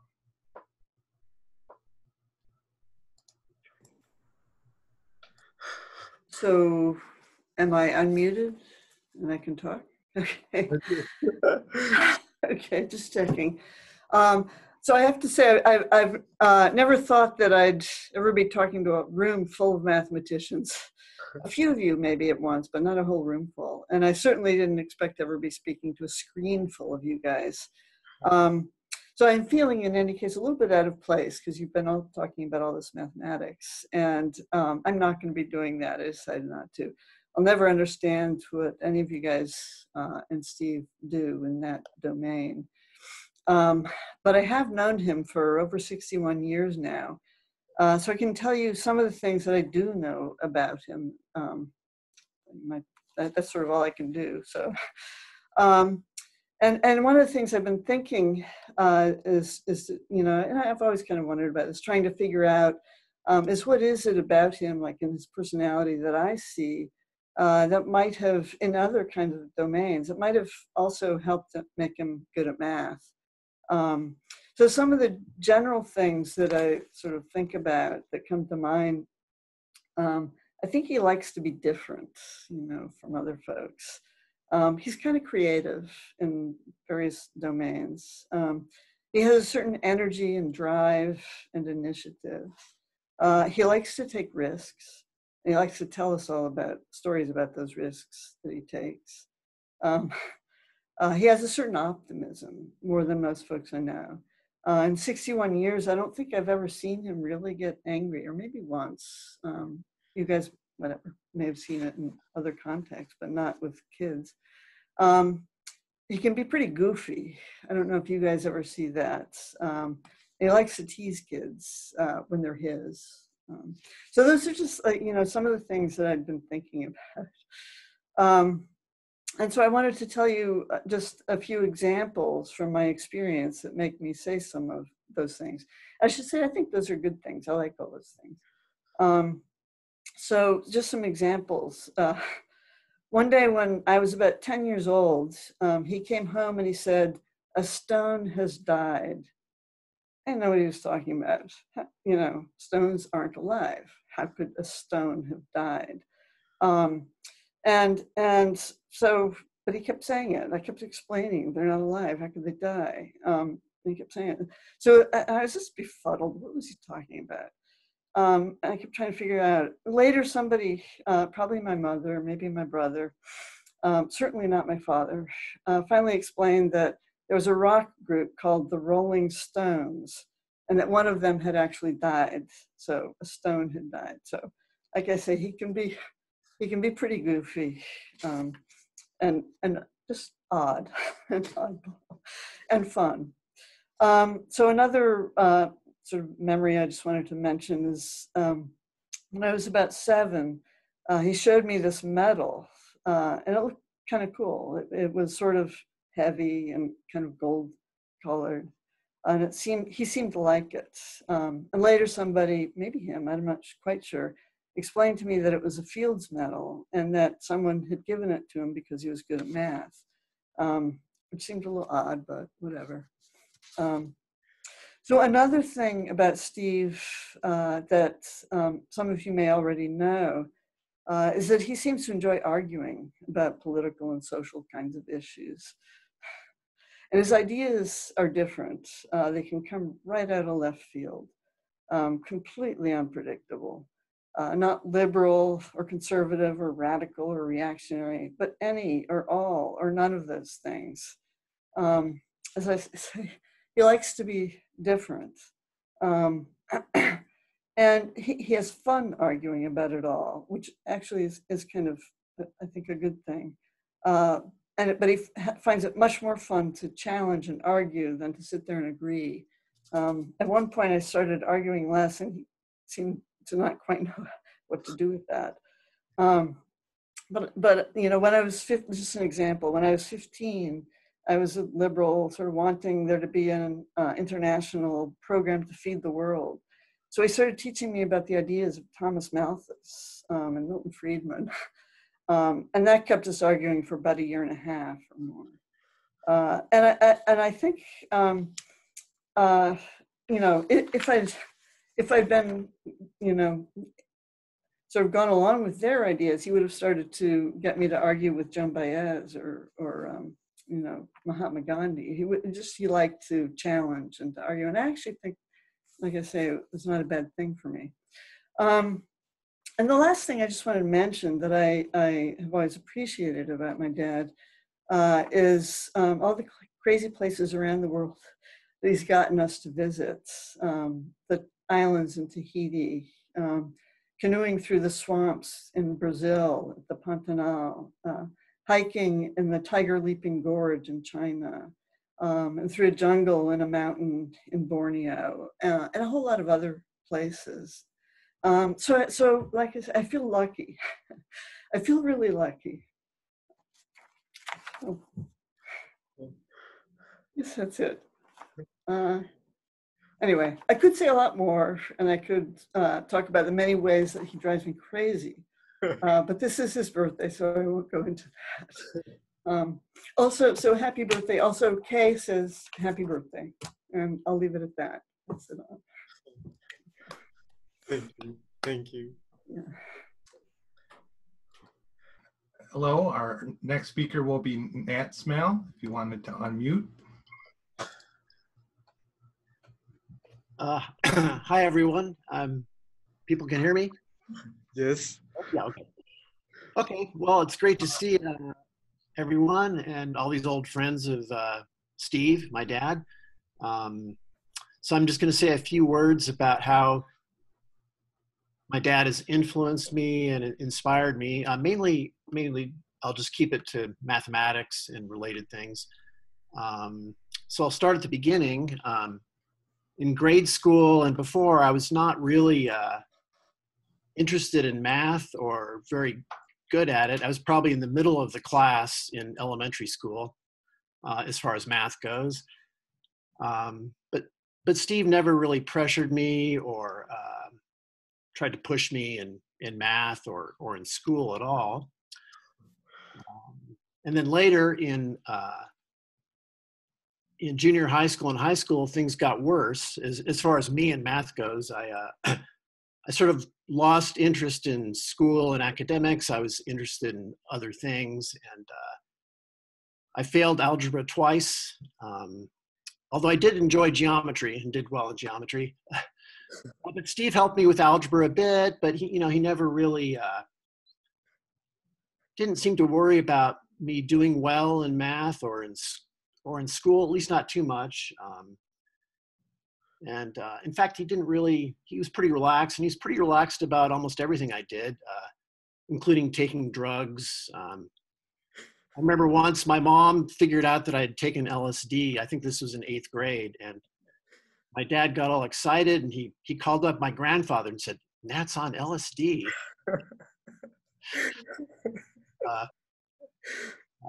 but there was one thing that he wasn't so relaxed about, and uh, one of the few conflicts we've had, and that was when I was in got into Scientology for for a time. So uh, anyway, I got I got over that. Um, so after high school, uh, I, I, was not planning to to pursue any kind of academics. Um, so I, I, spent a couple years mostly rock climbing, um, and eventually after that, I I sort of couldn't quite see myself doing that for the rest of my life, and I got inspired to go back to school. So uh, I was especially interested in biology and uh, studied that for and related things for a couple of years. Um, but I got kind of disillusioned uh, with lab work in biology. I, I just didn't find it, I found it a bit tedious for myself. So I wasn't quite sure what to do. But I was sort of really indirectly uh, inspired by Steve. I would, I had always noticed, I hadn't thought about it explicitly, but I'd always noticed that he seemed to have such a good time uh, doing math, especially with his friends. Um, they would just come over and they would talk math. I remember in particular, Mo Hirsch would come over often. They'd play ping pong and they'd be discussing math problems, and it it just seemed like uh, a lot of fun. So, um, so that inspired me, sort of indirectly, to to kind of go into math. And um, my dad was a little uncertain at first about me going into math, but you know he was he was okay with it. And um, so I majored in math and then went to grad school in math and and we you know we had more and more in common. So we would we would talk about math and uh, uh, he would he was always very supportive and interested in what I was working on, interested in my thesis, and uh, we were in different fields. So I, I, never took a course from him or uh, um, I was at Berkeley. Um, anyway, eventually I got my PhD and uh, um, went into a career as, as a mathematician and um, differential geometry mostly, uh, mostly at the University of Utah. And uh, we would, you know, we would talk over those years, over many years, we would, you know, we would talk about what we were doing mathematically and not in great detail, but we would both be interested in what each other was working on. Um, but we never really uh, collaborated or anything like that. Uh, but about 20 years after my PhD, we were on a, um, um, a Christmas trip to Costa Rica. And uh, he started, we were there for a couple weeks. He started asking me some questions about Hodge theory and because uh, I was in differential geometry. And he started telling me these ideas he had, very beginning ideas of uh, trying to develop some kind of Hodge theory for uh, at a scale for um, metric spaces. So we spent a lot of time talking about this.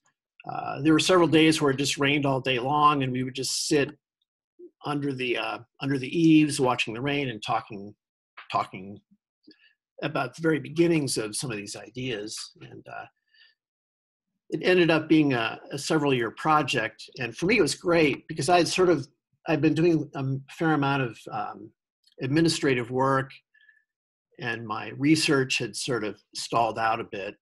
uh, so this was great getting back into some exciting work. And um, so I, it was it was a great experience working with him. Uh, I have to say there were some interesting things working. I'd never worked with him before, so I was surprised. Uh, at first, after our trip, we, he would call me. You know, we would talk on the phone, and he he had oh at least four days a week he called me up, and he had, had some new ideas. Um, and then I was in Hong Kong for a year, and you know, almost every day he'd come to my office with some new ideas. And uh, most of these ideas were totally wrong. And I very, I was very, I was the pessimist. You know, he was the optimist. Well, well, this must be true, and I would say, no, that can't be true.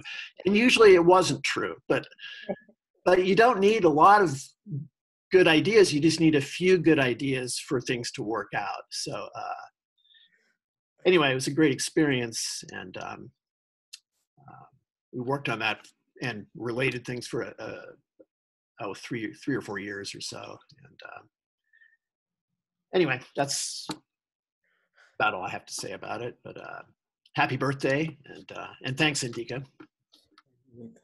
Thank you, thank you.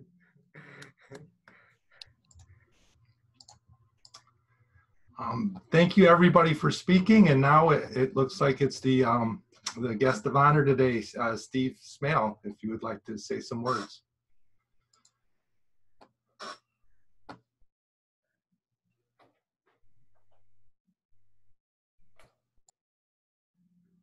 So, uh, Dr. Smale? There we are. Okay. I don't see myself, but I guess that's okay. Yes, we can see you. You're looking good we can hear you.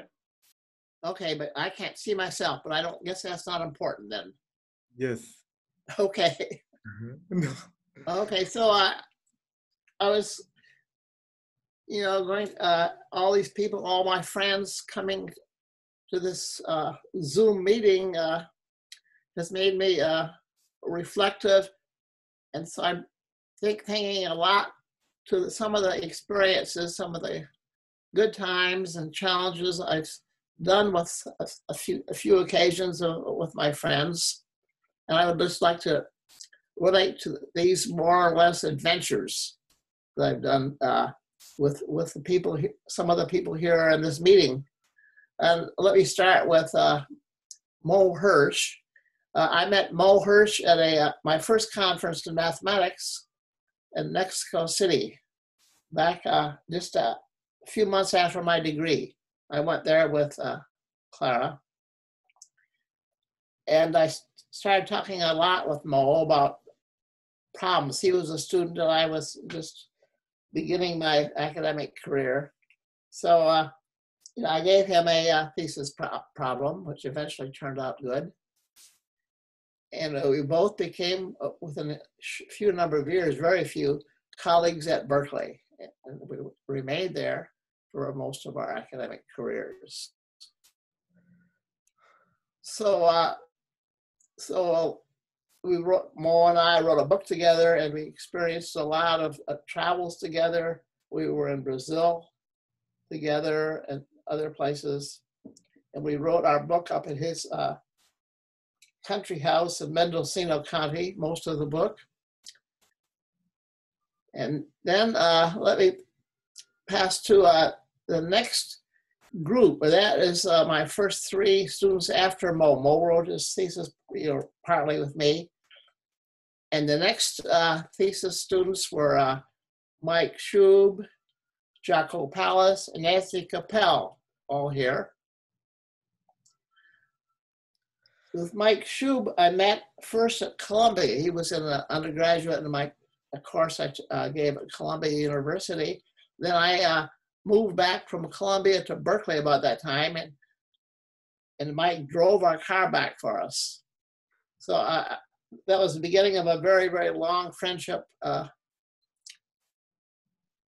and you know, in Berkeley, uh, he be, he began writing a thesis with me, and he also uh, went to jail at a sit-in at the free speech movement, and I, I helped get him out of jail uh, among a mass arrest. and, and so, uh, yeah, so many things with Mike I can hardly uh, th- think of what you know to say because we traveled so, so many places in the world together. Uh, he spent years in Hong Kong, and uh, we've been very good friends to this day. Another uh, person of that threesome is uh, Palis. So uh, with Jaco, he finished his thesis with me about the same time as uh, Nancy Kopell and Mike. And with Jaco, again, it was a uh, very st- strong and big relationship. I visited him uh, 15 times in uh, Rio de Janeiro in Brazil, and sometimes for many months at a time. Or, you know, I, I did a lot of work in Brazil, and he was uh, always there. So we got very much, uh, very much friends with him. In fact, we saw each other in various places in the world, from uh, Moscow, I remember, and also in Beijing we were both there together uh, in connection with the International Congress. And Nancy Kopell, well, I used to see her some when uh, I would go to uh, Boston, but I haven't seen so much of her for a while, till this day, till today. So it's great to see her. And another uh, group that is very important in my life were the authors of uh, my second book. First book was with Mo, Second book uh, was a foursome with Felipe Cucker, uh, Lenore Blum, and Mike Shub on uh, computation. Uh, and so the four of us also have been uh, very good friends at very many places and times. Uh, Lenore came to Hong Kong for a couple of years, and I almost convinced her and her husband Manuel to, to live in Hong Kong, to move to Hong Kong, but it didn't quite work out. And with uh, Felipe, uh, yeah, so uh, I invited him to Hong Kong and he did stay. So he, we were colleagues in Hong Kong for 10, 15 years. And also did adventures. Uh, he was uh, for example, uh, with uh, some of my sailing trips, I was a sea captain. So I rented a big sailboat and took trips in the Caribbean. And he was at least on two of them, you know, with uh, Nat was there and Laura was there at least on one. So we would go to remote island, uh, islands in the Caribbean. See, uh, uh, then uh, I'm in a project now with uh, Indika and Charles Pugh. It's the mathematics of the heartbeat. So that's been going on for a couple years. And uh, again, uh, I want to take this uh, opportunity opportunity to express my appreciation for Indika for that project, but also for his organizing this meeting. And Charles, uh, it's great working with him. He's here at this meeting. And uh, but with Charles, there's another special thing. He was uh, with me on my sailing trip, uh, my boat across the Pacific to Fatu Hiva. He was uh, what I call the engineer on the boat, because he's the only one who really understood the engine. It was a sailboat, but we needed the engine occasionally. So that was a very big adventure that's sailing across the Pacific to Fatu Hiva. Thor Heyerdahl had spent a year there at that island. It was still pretty remote.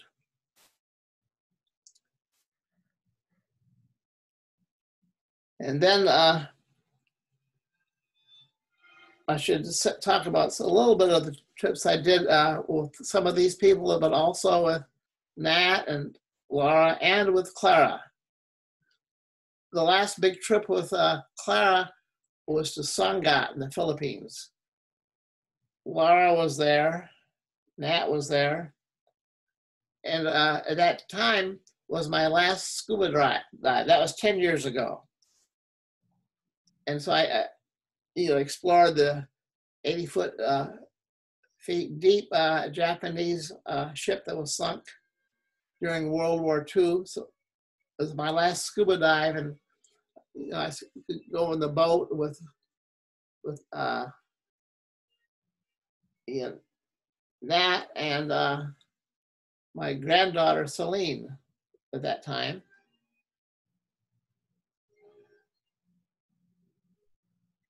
Yeah, so uh, it was Clara's uh, last trip. She died a, a, year later from that trip to in, in the Philippines. And Laura, uh, even uh, bigger adventures. Laura, I think, already mentioned how she'd come to uh, Brazil and we were going by canoes into the Mato Grosso jungles of uh, Mato Grosso, uh, Pantanal, Mato Grosso. We spent a couple of weeks in those uh, jungles. And then uh, it was a little later that we visited her and Kay, her, uh, her, hus- her wife. Uh, and uh, that was a very adventurous time in the uh, jungles. And, you know, we were living in tents with the lions and elephants and so on. And they were studying hyenas, living there for four years. So uh, Laura, uh, it was a, a, very big adventure for me. And Clara, Clara was there. She wasn't quite so happy about that trip, living in the tent with the dangerous things all around us. But I, you know, Laura and Kay lent me that one of their two jeeps so I could just drive off into the, uh, the jungle or the savannah and see all the, the leopards and lions and, and, so on, hyenas, you know, just in the safety of the jeep in the jungle. So it would be off the roads. And nobody else could do that because uh, the laws would prevent anybody, even on safaris, could not get so close anyway, those are a little bit of the memories I have of a few of the adventures I've had. Uh, you know, other one, or maybe mountain climbing with Bob Williams, who, who may be here. I don't know if he's in the audience, perhaps. So uh, we climbed uh, Sugarloaf in uh, Rio de Janeiro by rope, and we did climb the mountains in the U.S. Uh, the Rockies. Anyway, I think I'll leave it at that thanks for all of you to, to be here. And uh, it's a great pleasure for me to see the, this meeting unfold. I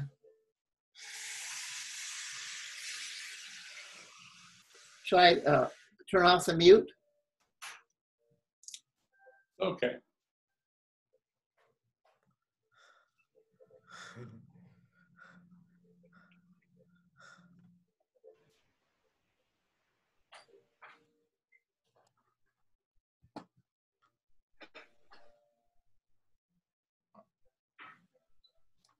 So, um, hello everybody. Indika wanted us to all give a toast to Dr. Uh, Smale before we open up to our um, to our open mic.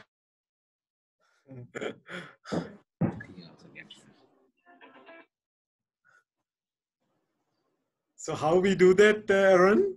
So um, maybe. Let's have a toast. Yeah, guys. Um, I don't know, Indika, how would you like to proceed? so maybe say happy birthday to Dr. Smale, like. Uh... We can all sing. Yes. Yeah. I like it. Yeah. Let's start. Sounds Let's good. start. One, two, three, go. Happy birthday. Happy birthday.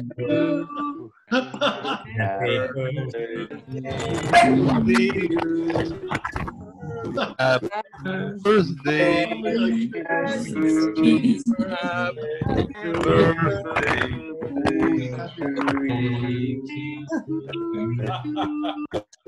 Raise the toast. Raise the glass. Cheers. Happy birthday, Dr. Smale. Happy birthday at your hundredth. That's right. Perhaps instead of a happy birthday, you should wish him a happy new decade. Yeah, there you go. Happy new decade. Very true. Happy decade to you. Happy decades. Indika, when is the hundredth birthday party going to be? July 15th. Nothing soon. Another, another. Yeah, so I also would like to say Michael Schwan mentioned the Smale Institute in Hong Kong. We're certainly hope, we're hoping to have one in Ann Arbor too. There's already been a beginning in Indika's lab, so perhaps you'll all be able to visit the Smale Institute in Ann Arbor sometime, which would be great. Yes. we're really keen about that. Right.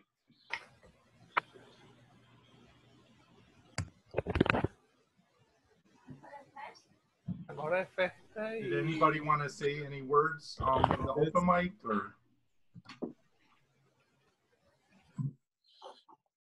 Maybe, uh, uh, well, I can, uh, can I say something? Yeah, yeah. Okay, let me share my screen.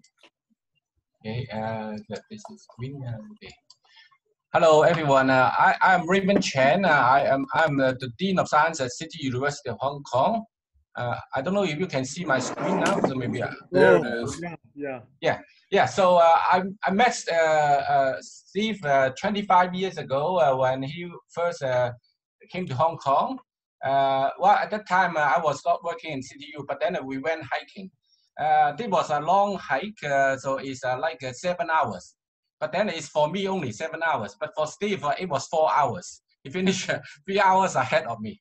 And then uh, after that, I, I didn't I didn't wear, I didn't go to uh, hiking with him anymore. But then uh, 10 years ago, when he uh, come back to, uh, came back to uh, Hong Kong the second time, this was in 2010, we went to hiking again. And this time I thought that I can I can at least finish with him. So we at that time we were, this was the first hike after uh, Steve uh, came back to Hong Kong. We went up to the this uh, Egg Ferries Mountains. It was a very steep climb at, at, uh, the beginning. It's uh, like a 600 meter uh, uh, walk straight up. And then uh, I was able to walk with uh, Steve all the way, and then we chat all, the way here. So it's my wife. But then uh, on the top is an X-Berry Mountain, so there were there were uh, there are eight uh, small hill on the top. Once at the top, then uh, Steve disappear, and then he and then I finish uh, like uh, also two hours after him. well, well, but, but then so I think uh, so it- it's uh, never uh, well I can never walk with him. But then uh, it's lucky that uh, trail uh, so so uh, Steve uh, found a very good trail. So this is uh, what, what we call the Steve Trail now. So it's a hike uh, like a two hours to a very wonderful beach. And then uh, usually we hike in the morning around noon time, and then we went. Uh, we once we uh, uh, got there, then uh, we we have uh, some beer and then some slack, and before we walk back. So every time Steve like to go to hiking, then he will recommend this one. So in fact, well, the last time we went there so is July 7, 2019. Uh, the interesting thing is that so Steve uh, sent me an invitation to uh, to go there a year ahead before he come back came, came back to Hong Kong. So so I received the invitation like uh, 2018. I was thinking that uh, he, he he was coming back in 2018 and then asked me to hike together. But then uh, I found out the date. It was one year after that. So so you can see that uh, Steve liked this uh, trail very much.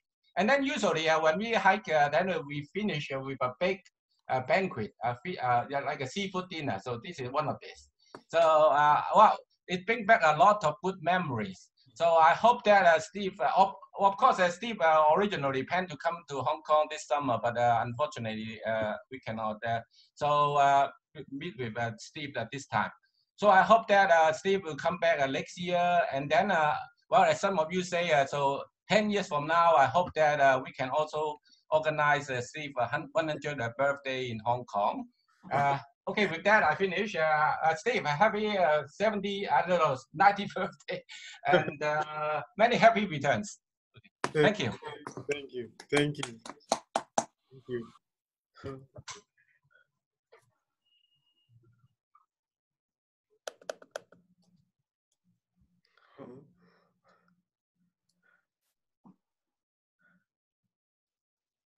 Hello, Steve. Happy birthday. I'm stealing the mic from Felipe to say happy birthday. Lovely to see you. Thanks.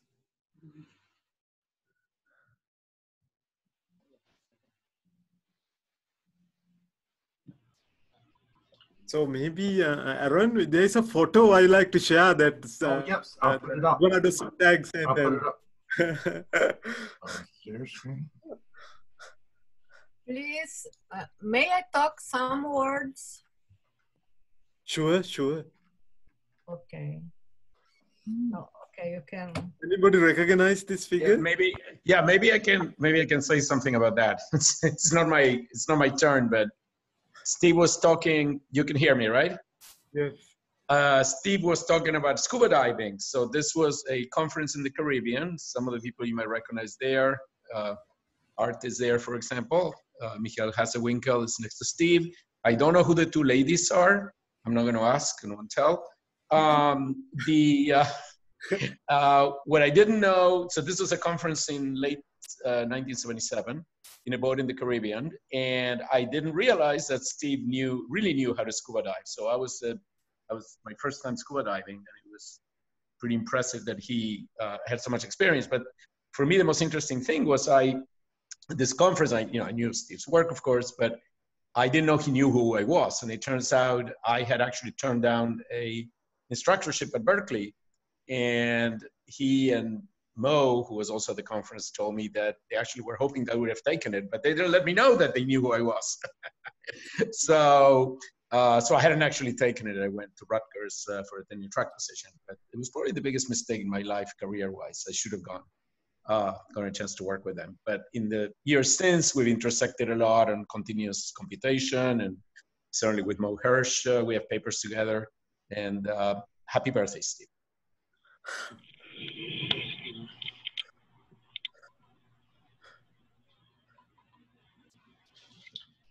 May I take you? May, may I talk some words? Yes. Absolutely. Okay. Happy birthday, Steve. And then what I would like to say is that here in Brazil, we have the, the what people following the school of Ismail. Indeed, because we all here celebrating the 90th anniversary of Steve, and everyone was talking about the influence on her own life, life. Uh, but here, I would say that we have the young people following these uh, Steve Ismail's word, words and the all what he introduced in the past and all that can be seen about the all the students that Jacob Palis have.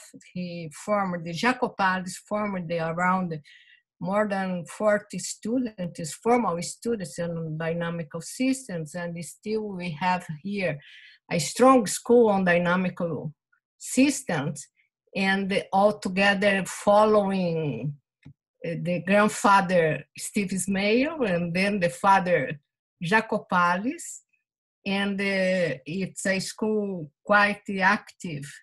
I remember that uh, two or three years ago, we were in Shenzhen for celebrating the um, first school, Berkeley School on Dynamics. And uh, I think that many, many students and the person uh, there participating on this, this school was following the that uh, how you say this uh, it's what is alive indeed and uh, pointing to the future to the next years or the next 10 or 20 years we have a really strong uh, dynamical school here in brazil following Steve Ismail and Jacob Palis. And then um, happy birthday because uh, Steve, and you can be sure that you will be alive here for us for many, many years. And I hope to celebrate the, your in 10 years, your 100 years. Happy birthday. Thank you. Can I jump in? Uh, because I want to ask Steve some questions. Absolutely. Yes, Steve. So you were a guy of, I can't see Steve's picture. Should I see Steve's picture anywhere? In any case, Steve, you're a very energetic guy and a dynamic guy, and you've made it to 90 with a lot of energy. And you've got all of us here listening, potentially listening to.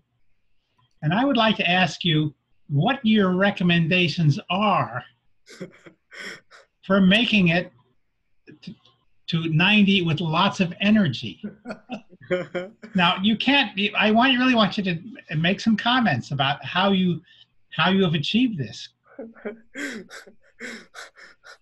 Okay, you want me, can you hear me? Now I yes. Okay, uh, I don't give advice. I just, No, no, just tell us how you do it. Yeah. So uh, you know, I follow uh, medical things a lot, and I do not follow what doctors say a lot. Especially, especially leading doctors in their profession, I think are well, not dependable. One has to make one's own decisions about uh, healthy things to do. So, also many often the main leaders of American medicine are not giving good advice. That's that's uh, the healthy thing, main thing for health. And I do a lot of research on the internet on health and follow health bulletins and so on.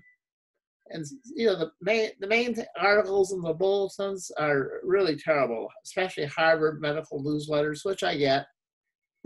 But uh, if you can sort out the truth by just analyzing, uh, especially sources on the internet. Yeah, Which sources which sources do you like? Oh, uh, no special source. No, I don't. I think I could get a rut if I found uh, one source. No source. Uh, no general sources, but I uh, learn what learn eventually uh, some things that are, I'm told to be suspicious of, and uh, find uh, you know the studies on the internet myself, not just read what doctors or studies are quoting, but find things. And there's one organization that you know I still have some reservations about, but it's been helpful, and that's called Life Extension Foundation. So they make supplements, and I find uh, pretty good, uh, pretty good supplements, and I take quite a lot. Oh, it's 50, 50 supplements a day. And uh, but a lot of it is just a lot of research to find out what to do. How about David Sinclair? But no, You don't know him. He, he wants to make everybody live 10 years longer. okay. yeah. Anyway, there are lots and lots of doctors who have lots and lots of claims, and uh, you know maybe maybe there's some truth in some of them, but uh, I find it's better to be your own doctor.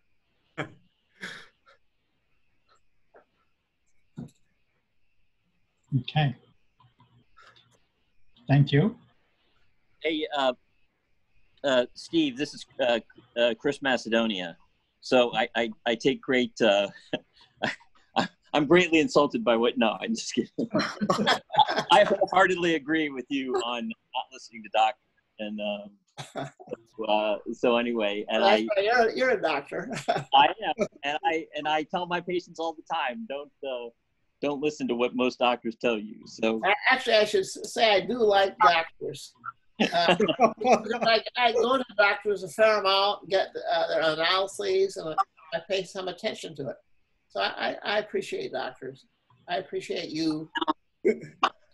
Well, hey, so so let me so uh, let me let me ask you. Uh, I, I I don't want to put you to work on your birthday, but I want to ask a very serious question. Since you're a you're a deep thinker about lots of things, not just mathematics, but uh, about the world in general and politics, and and that you're truly a polymath. Um, you know, every day I I mean I take care of COVID positive patients. Unfortunately, pretty much every day in my practice, and um, and it's an ever evolving kind of problem uh, and it's uh, every time you think you have it figured out, it, it, it again surprises. I, I wanted to ask you, you know, aside from like face masks and social distancing and everything else that's kind of been thrown out there, do you have any ideas about, you know, uh, where this is heading? And I mean, you know, in in the next couple of years, and how how one might take a a non medical doctor's approach to dealing with the problem? yeah, I, I, think about that a lot. Uh, you know, an example of the, the World Health Organization for a long time would say, don't wear masks in the beginning. That's an example where you get the bad advice from the leaders of a, the biggest medical association. Now they've changed, but took a long while. Uh, so uh, I don't know what's going to happen. There's a big conflict between uh, people who want a job and people want to stay healthy. There's a conflict there. You can't have the, conflict.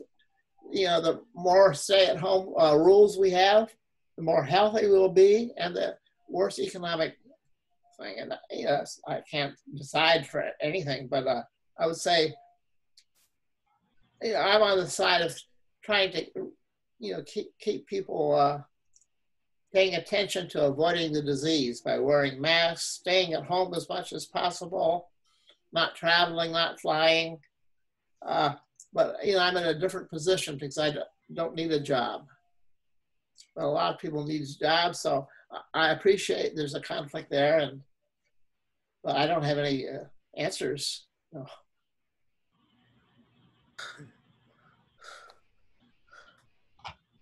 Let, me say the government still hasn't come up with a mask that you can wear and protect yourself. They're still saying mainly you're protecting the other person. And as a result, you get large areas of the country where they say, I'm not interested in protecting you because you aren't wearing masks. So nobody wears masks. But if you tell them you wear this mask and you'll be protecting yourself, everything changes. They haven't gotten there yet. It's only been six months. Yeah, I agree. I agree. No, I, I understood pretty quickly that the mask protects the wearer as much as it protects other people. Yeah, but you're from China. they understand masks are important.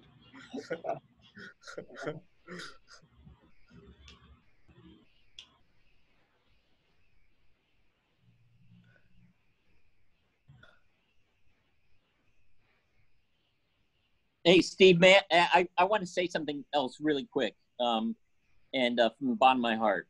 Um, you know, Shri had mentioned you coming to that conference, and uh, and I remember that conference because um, I invited you uh, for the biochronicity program, and um, people just heard that I'm a medical doctor, but they'll probably laugh when they hear that I'm a obstetrician gynecologist working in DARPA, which seems like a totally oxymoron. So, um, so uh, you came to the conference, and immediately after the meeting, the, the the entire building at DARPA was a buzz, and it was a buzz because, of course, you know you're a rock star, and um, and then they found out that you came for a biochronicity meeting, which which at the time was was really a dog program. It was really a program that was uh, thought to be unworthy of DARPA, and I, I have to tell you that I felt like you were Prince Charming and I was Cinderella, and the evil, the evil stepsisters were running around the hallway screaming, you know, why did Cinderella get the the slipper from Prince Charming? I just want to, to tell you on your 90th birthday, I will think of you as my Prince Charming. Okay.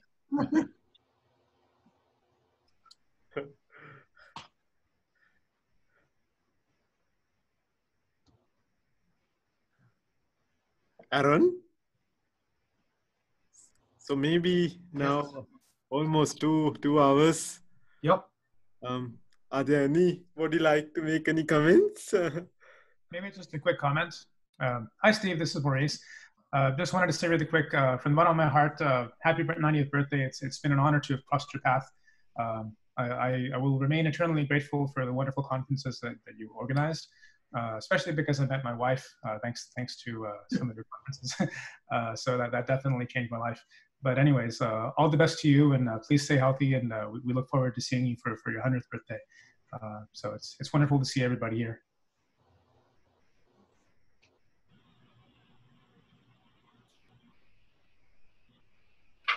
Steve, what impre- most impressed me in the years I was a doctoral student is that you were able to leave mathematics and come back and um, just to be uh, really open on uh, different subjects.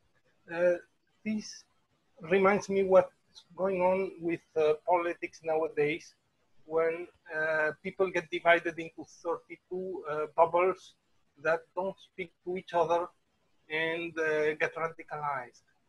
This can happen to science. This happens to science uh, from time to time. And uh, it's important to be able to break those bubbles. And you broke those bubbles in politics and in uh, science. Um, so uh, I need, I think we need another art city. That was also a way to break all those bubbles and get many communities to uh, start to talk uh, together. Thank you, Steve. Hi, Steve. This is Yao. Oh. I'm from from Beijing. Congratulations. Happy birthday. Thanks. Uh, well, first of all, you told me a few years ago that you are going to be in immortal. And you look as young as ever. Ah. so congratulations. I'm very happy to introduce you to Hong Kong. Good accomplishment by you and your group. Thank you for helping the community in there. So happy birthday. Hope to see you in Hong Kong soon. Okay, good. Thanks. Somebody at the door. Yeah.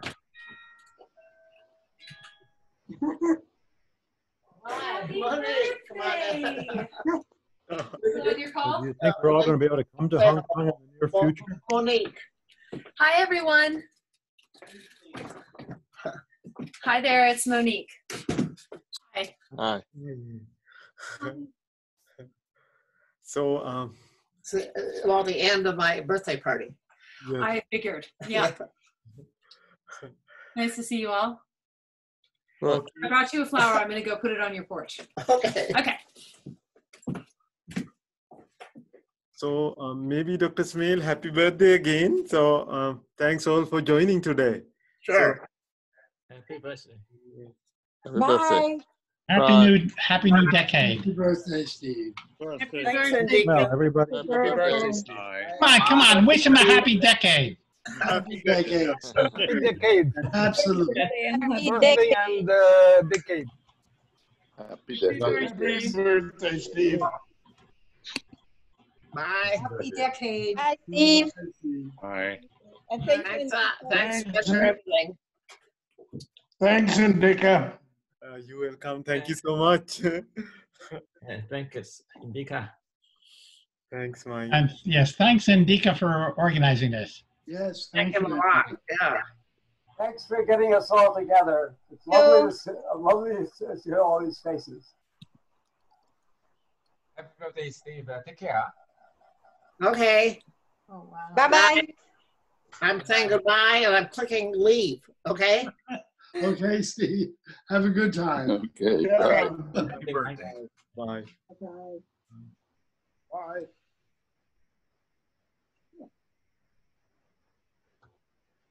Thanks, Dr. Kopell. Thank you. Yeah. Hi, Mike. Hi, Mike. Hi, Laura. Hi, Oh, Mike. nice to. Hi, Laura. I was hoping to see you in person. but- Yeah, that would have been great. Yeah. Yeah, I hear about you, you know, but I think I haven't seen about seen you in 40 years or something. Yeah. Maybe at least, yeah. Yeah. Your hair was longer. It was one, even just the other day, uh, I managed to get a haircut. Mine was longer this morning. I got it cut. And it- I saw all this gray stuff on the floor. Where is that gray hair? Mike, you still keep an, an enormous amount of hair. Don't worry. Me? No. you too, but this is normal. But Mike, I had a big ponytail and it was down my back. Yeah, that's right. Yeah. Yeah. The At last, fir- thirty- at- last at first- I think we don't want to leave this party. So great to for your Mike and Nancy and Felipe and Tonya. Wow. Yeah. The People It's from my really a Michael, Schwan. It's a thrill to see Mike. these people. now. Really nice to see Uh, Laura. and- Charles, Charlie, haven't seen you for a while, and Gregorio. And Tony Tromba from 50 years ago. Tony, yeah. Is Tony there? Uh, Yeah, He right, was. 20. Uh, Michael, you look good. Hello? Yeah, Michael. Can anybody hear me? Yeah. Oh, hi, Tony.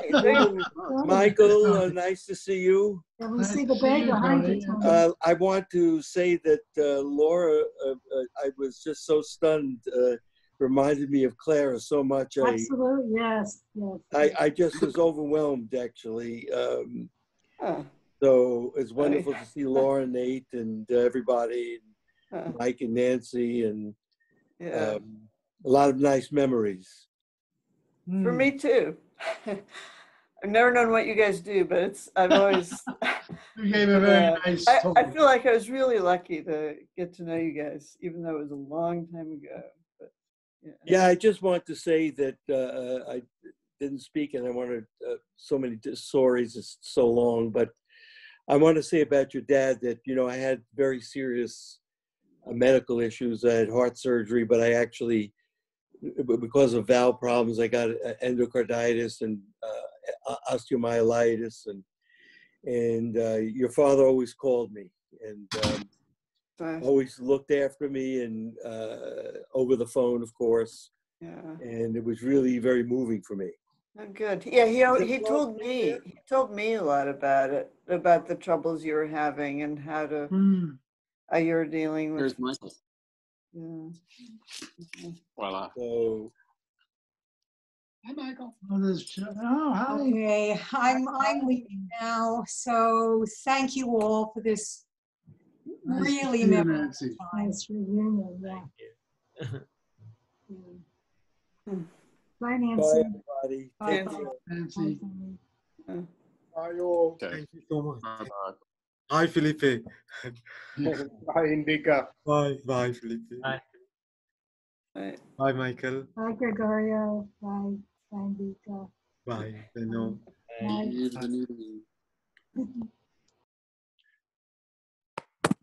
Hope to see you soon.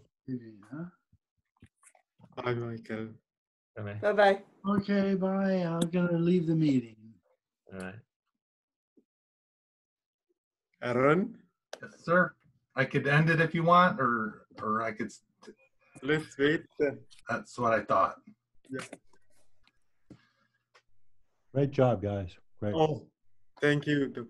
I thought it was wonderful. It was very so interesting. Yeah. It really was. It was fantastic. Great to hear all those stories is really Yeah. Okay. Be well. Okay. Good night. Good night. Thank you. Thanks, Aaron. Thank you so much, Aaron. Oh, it's, was this was great. I really Stephen, thought this thanks, Stephen. So uh, let's let's uh, so just yeah. So um. So I'll I'll email you those pictures in the morning. I captured a couple Yes, pictures.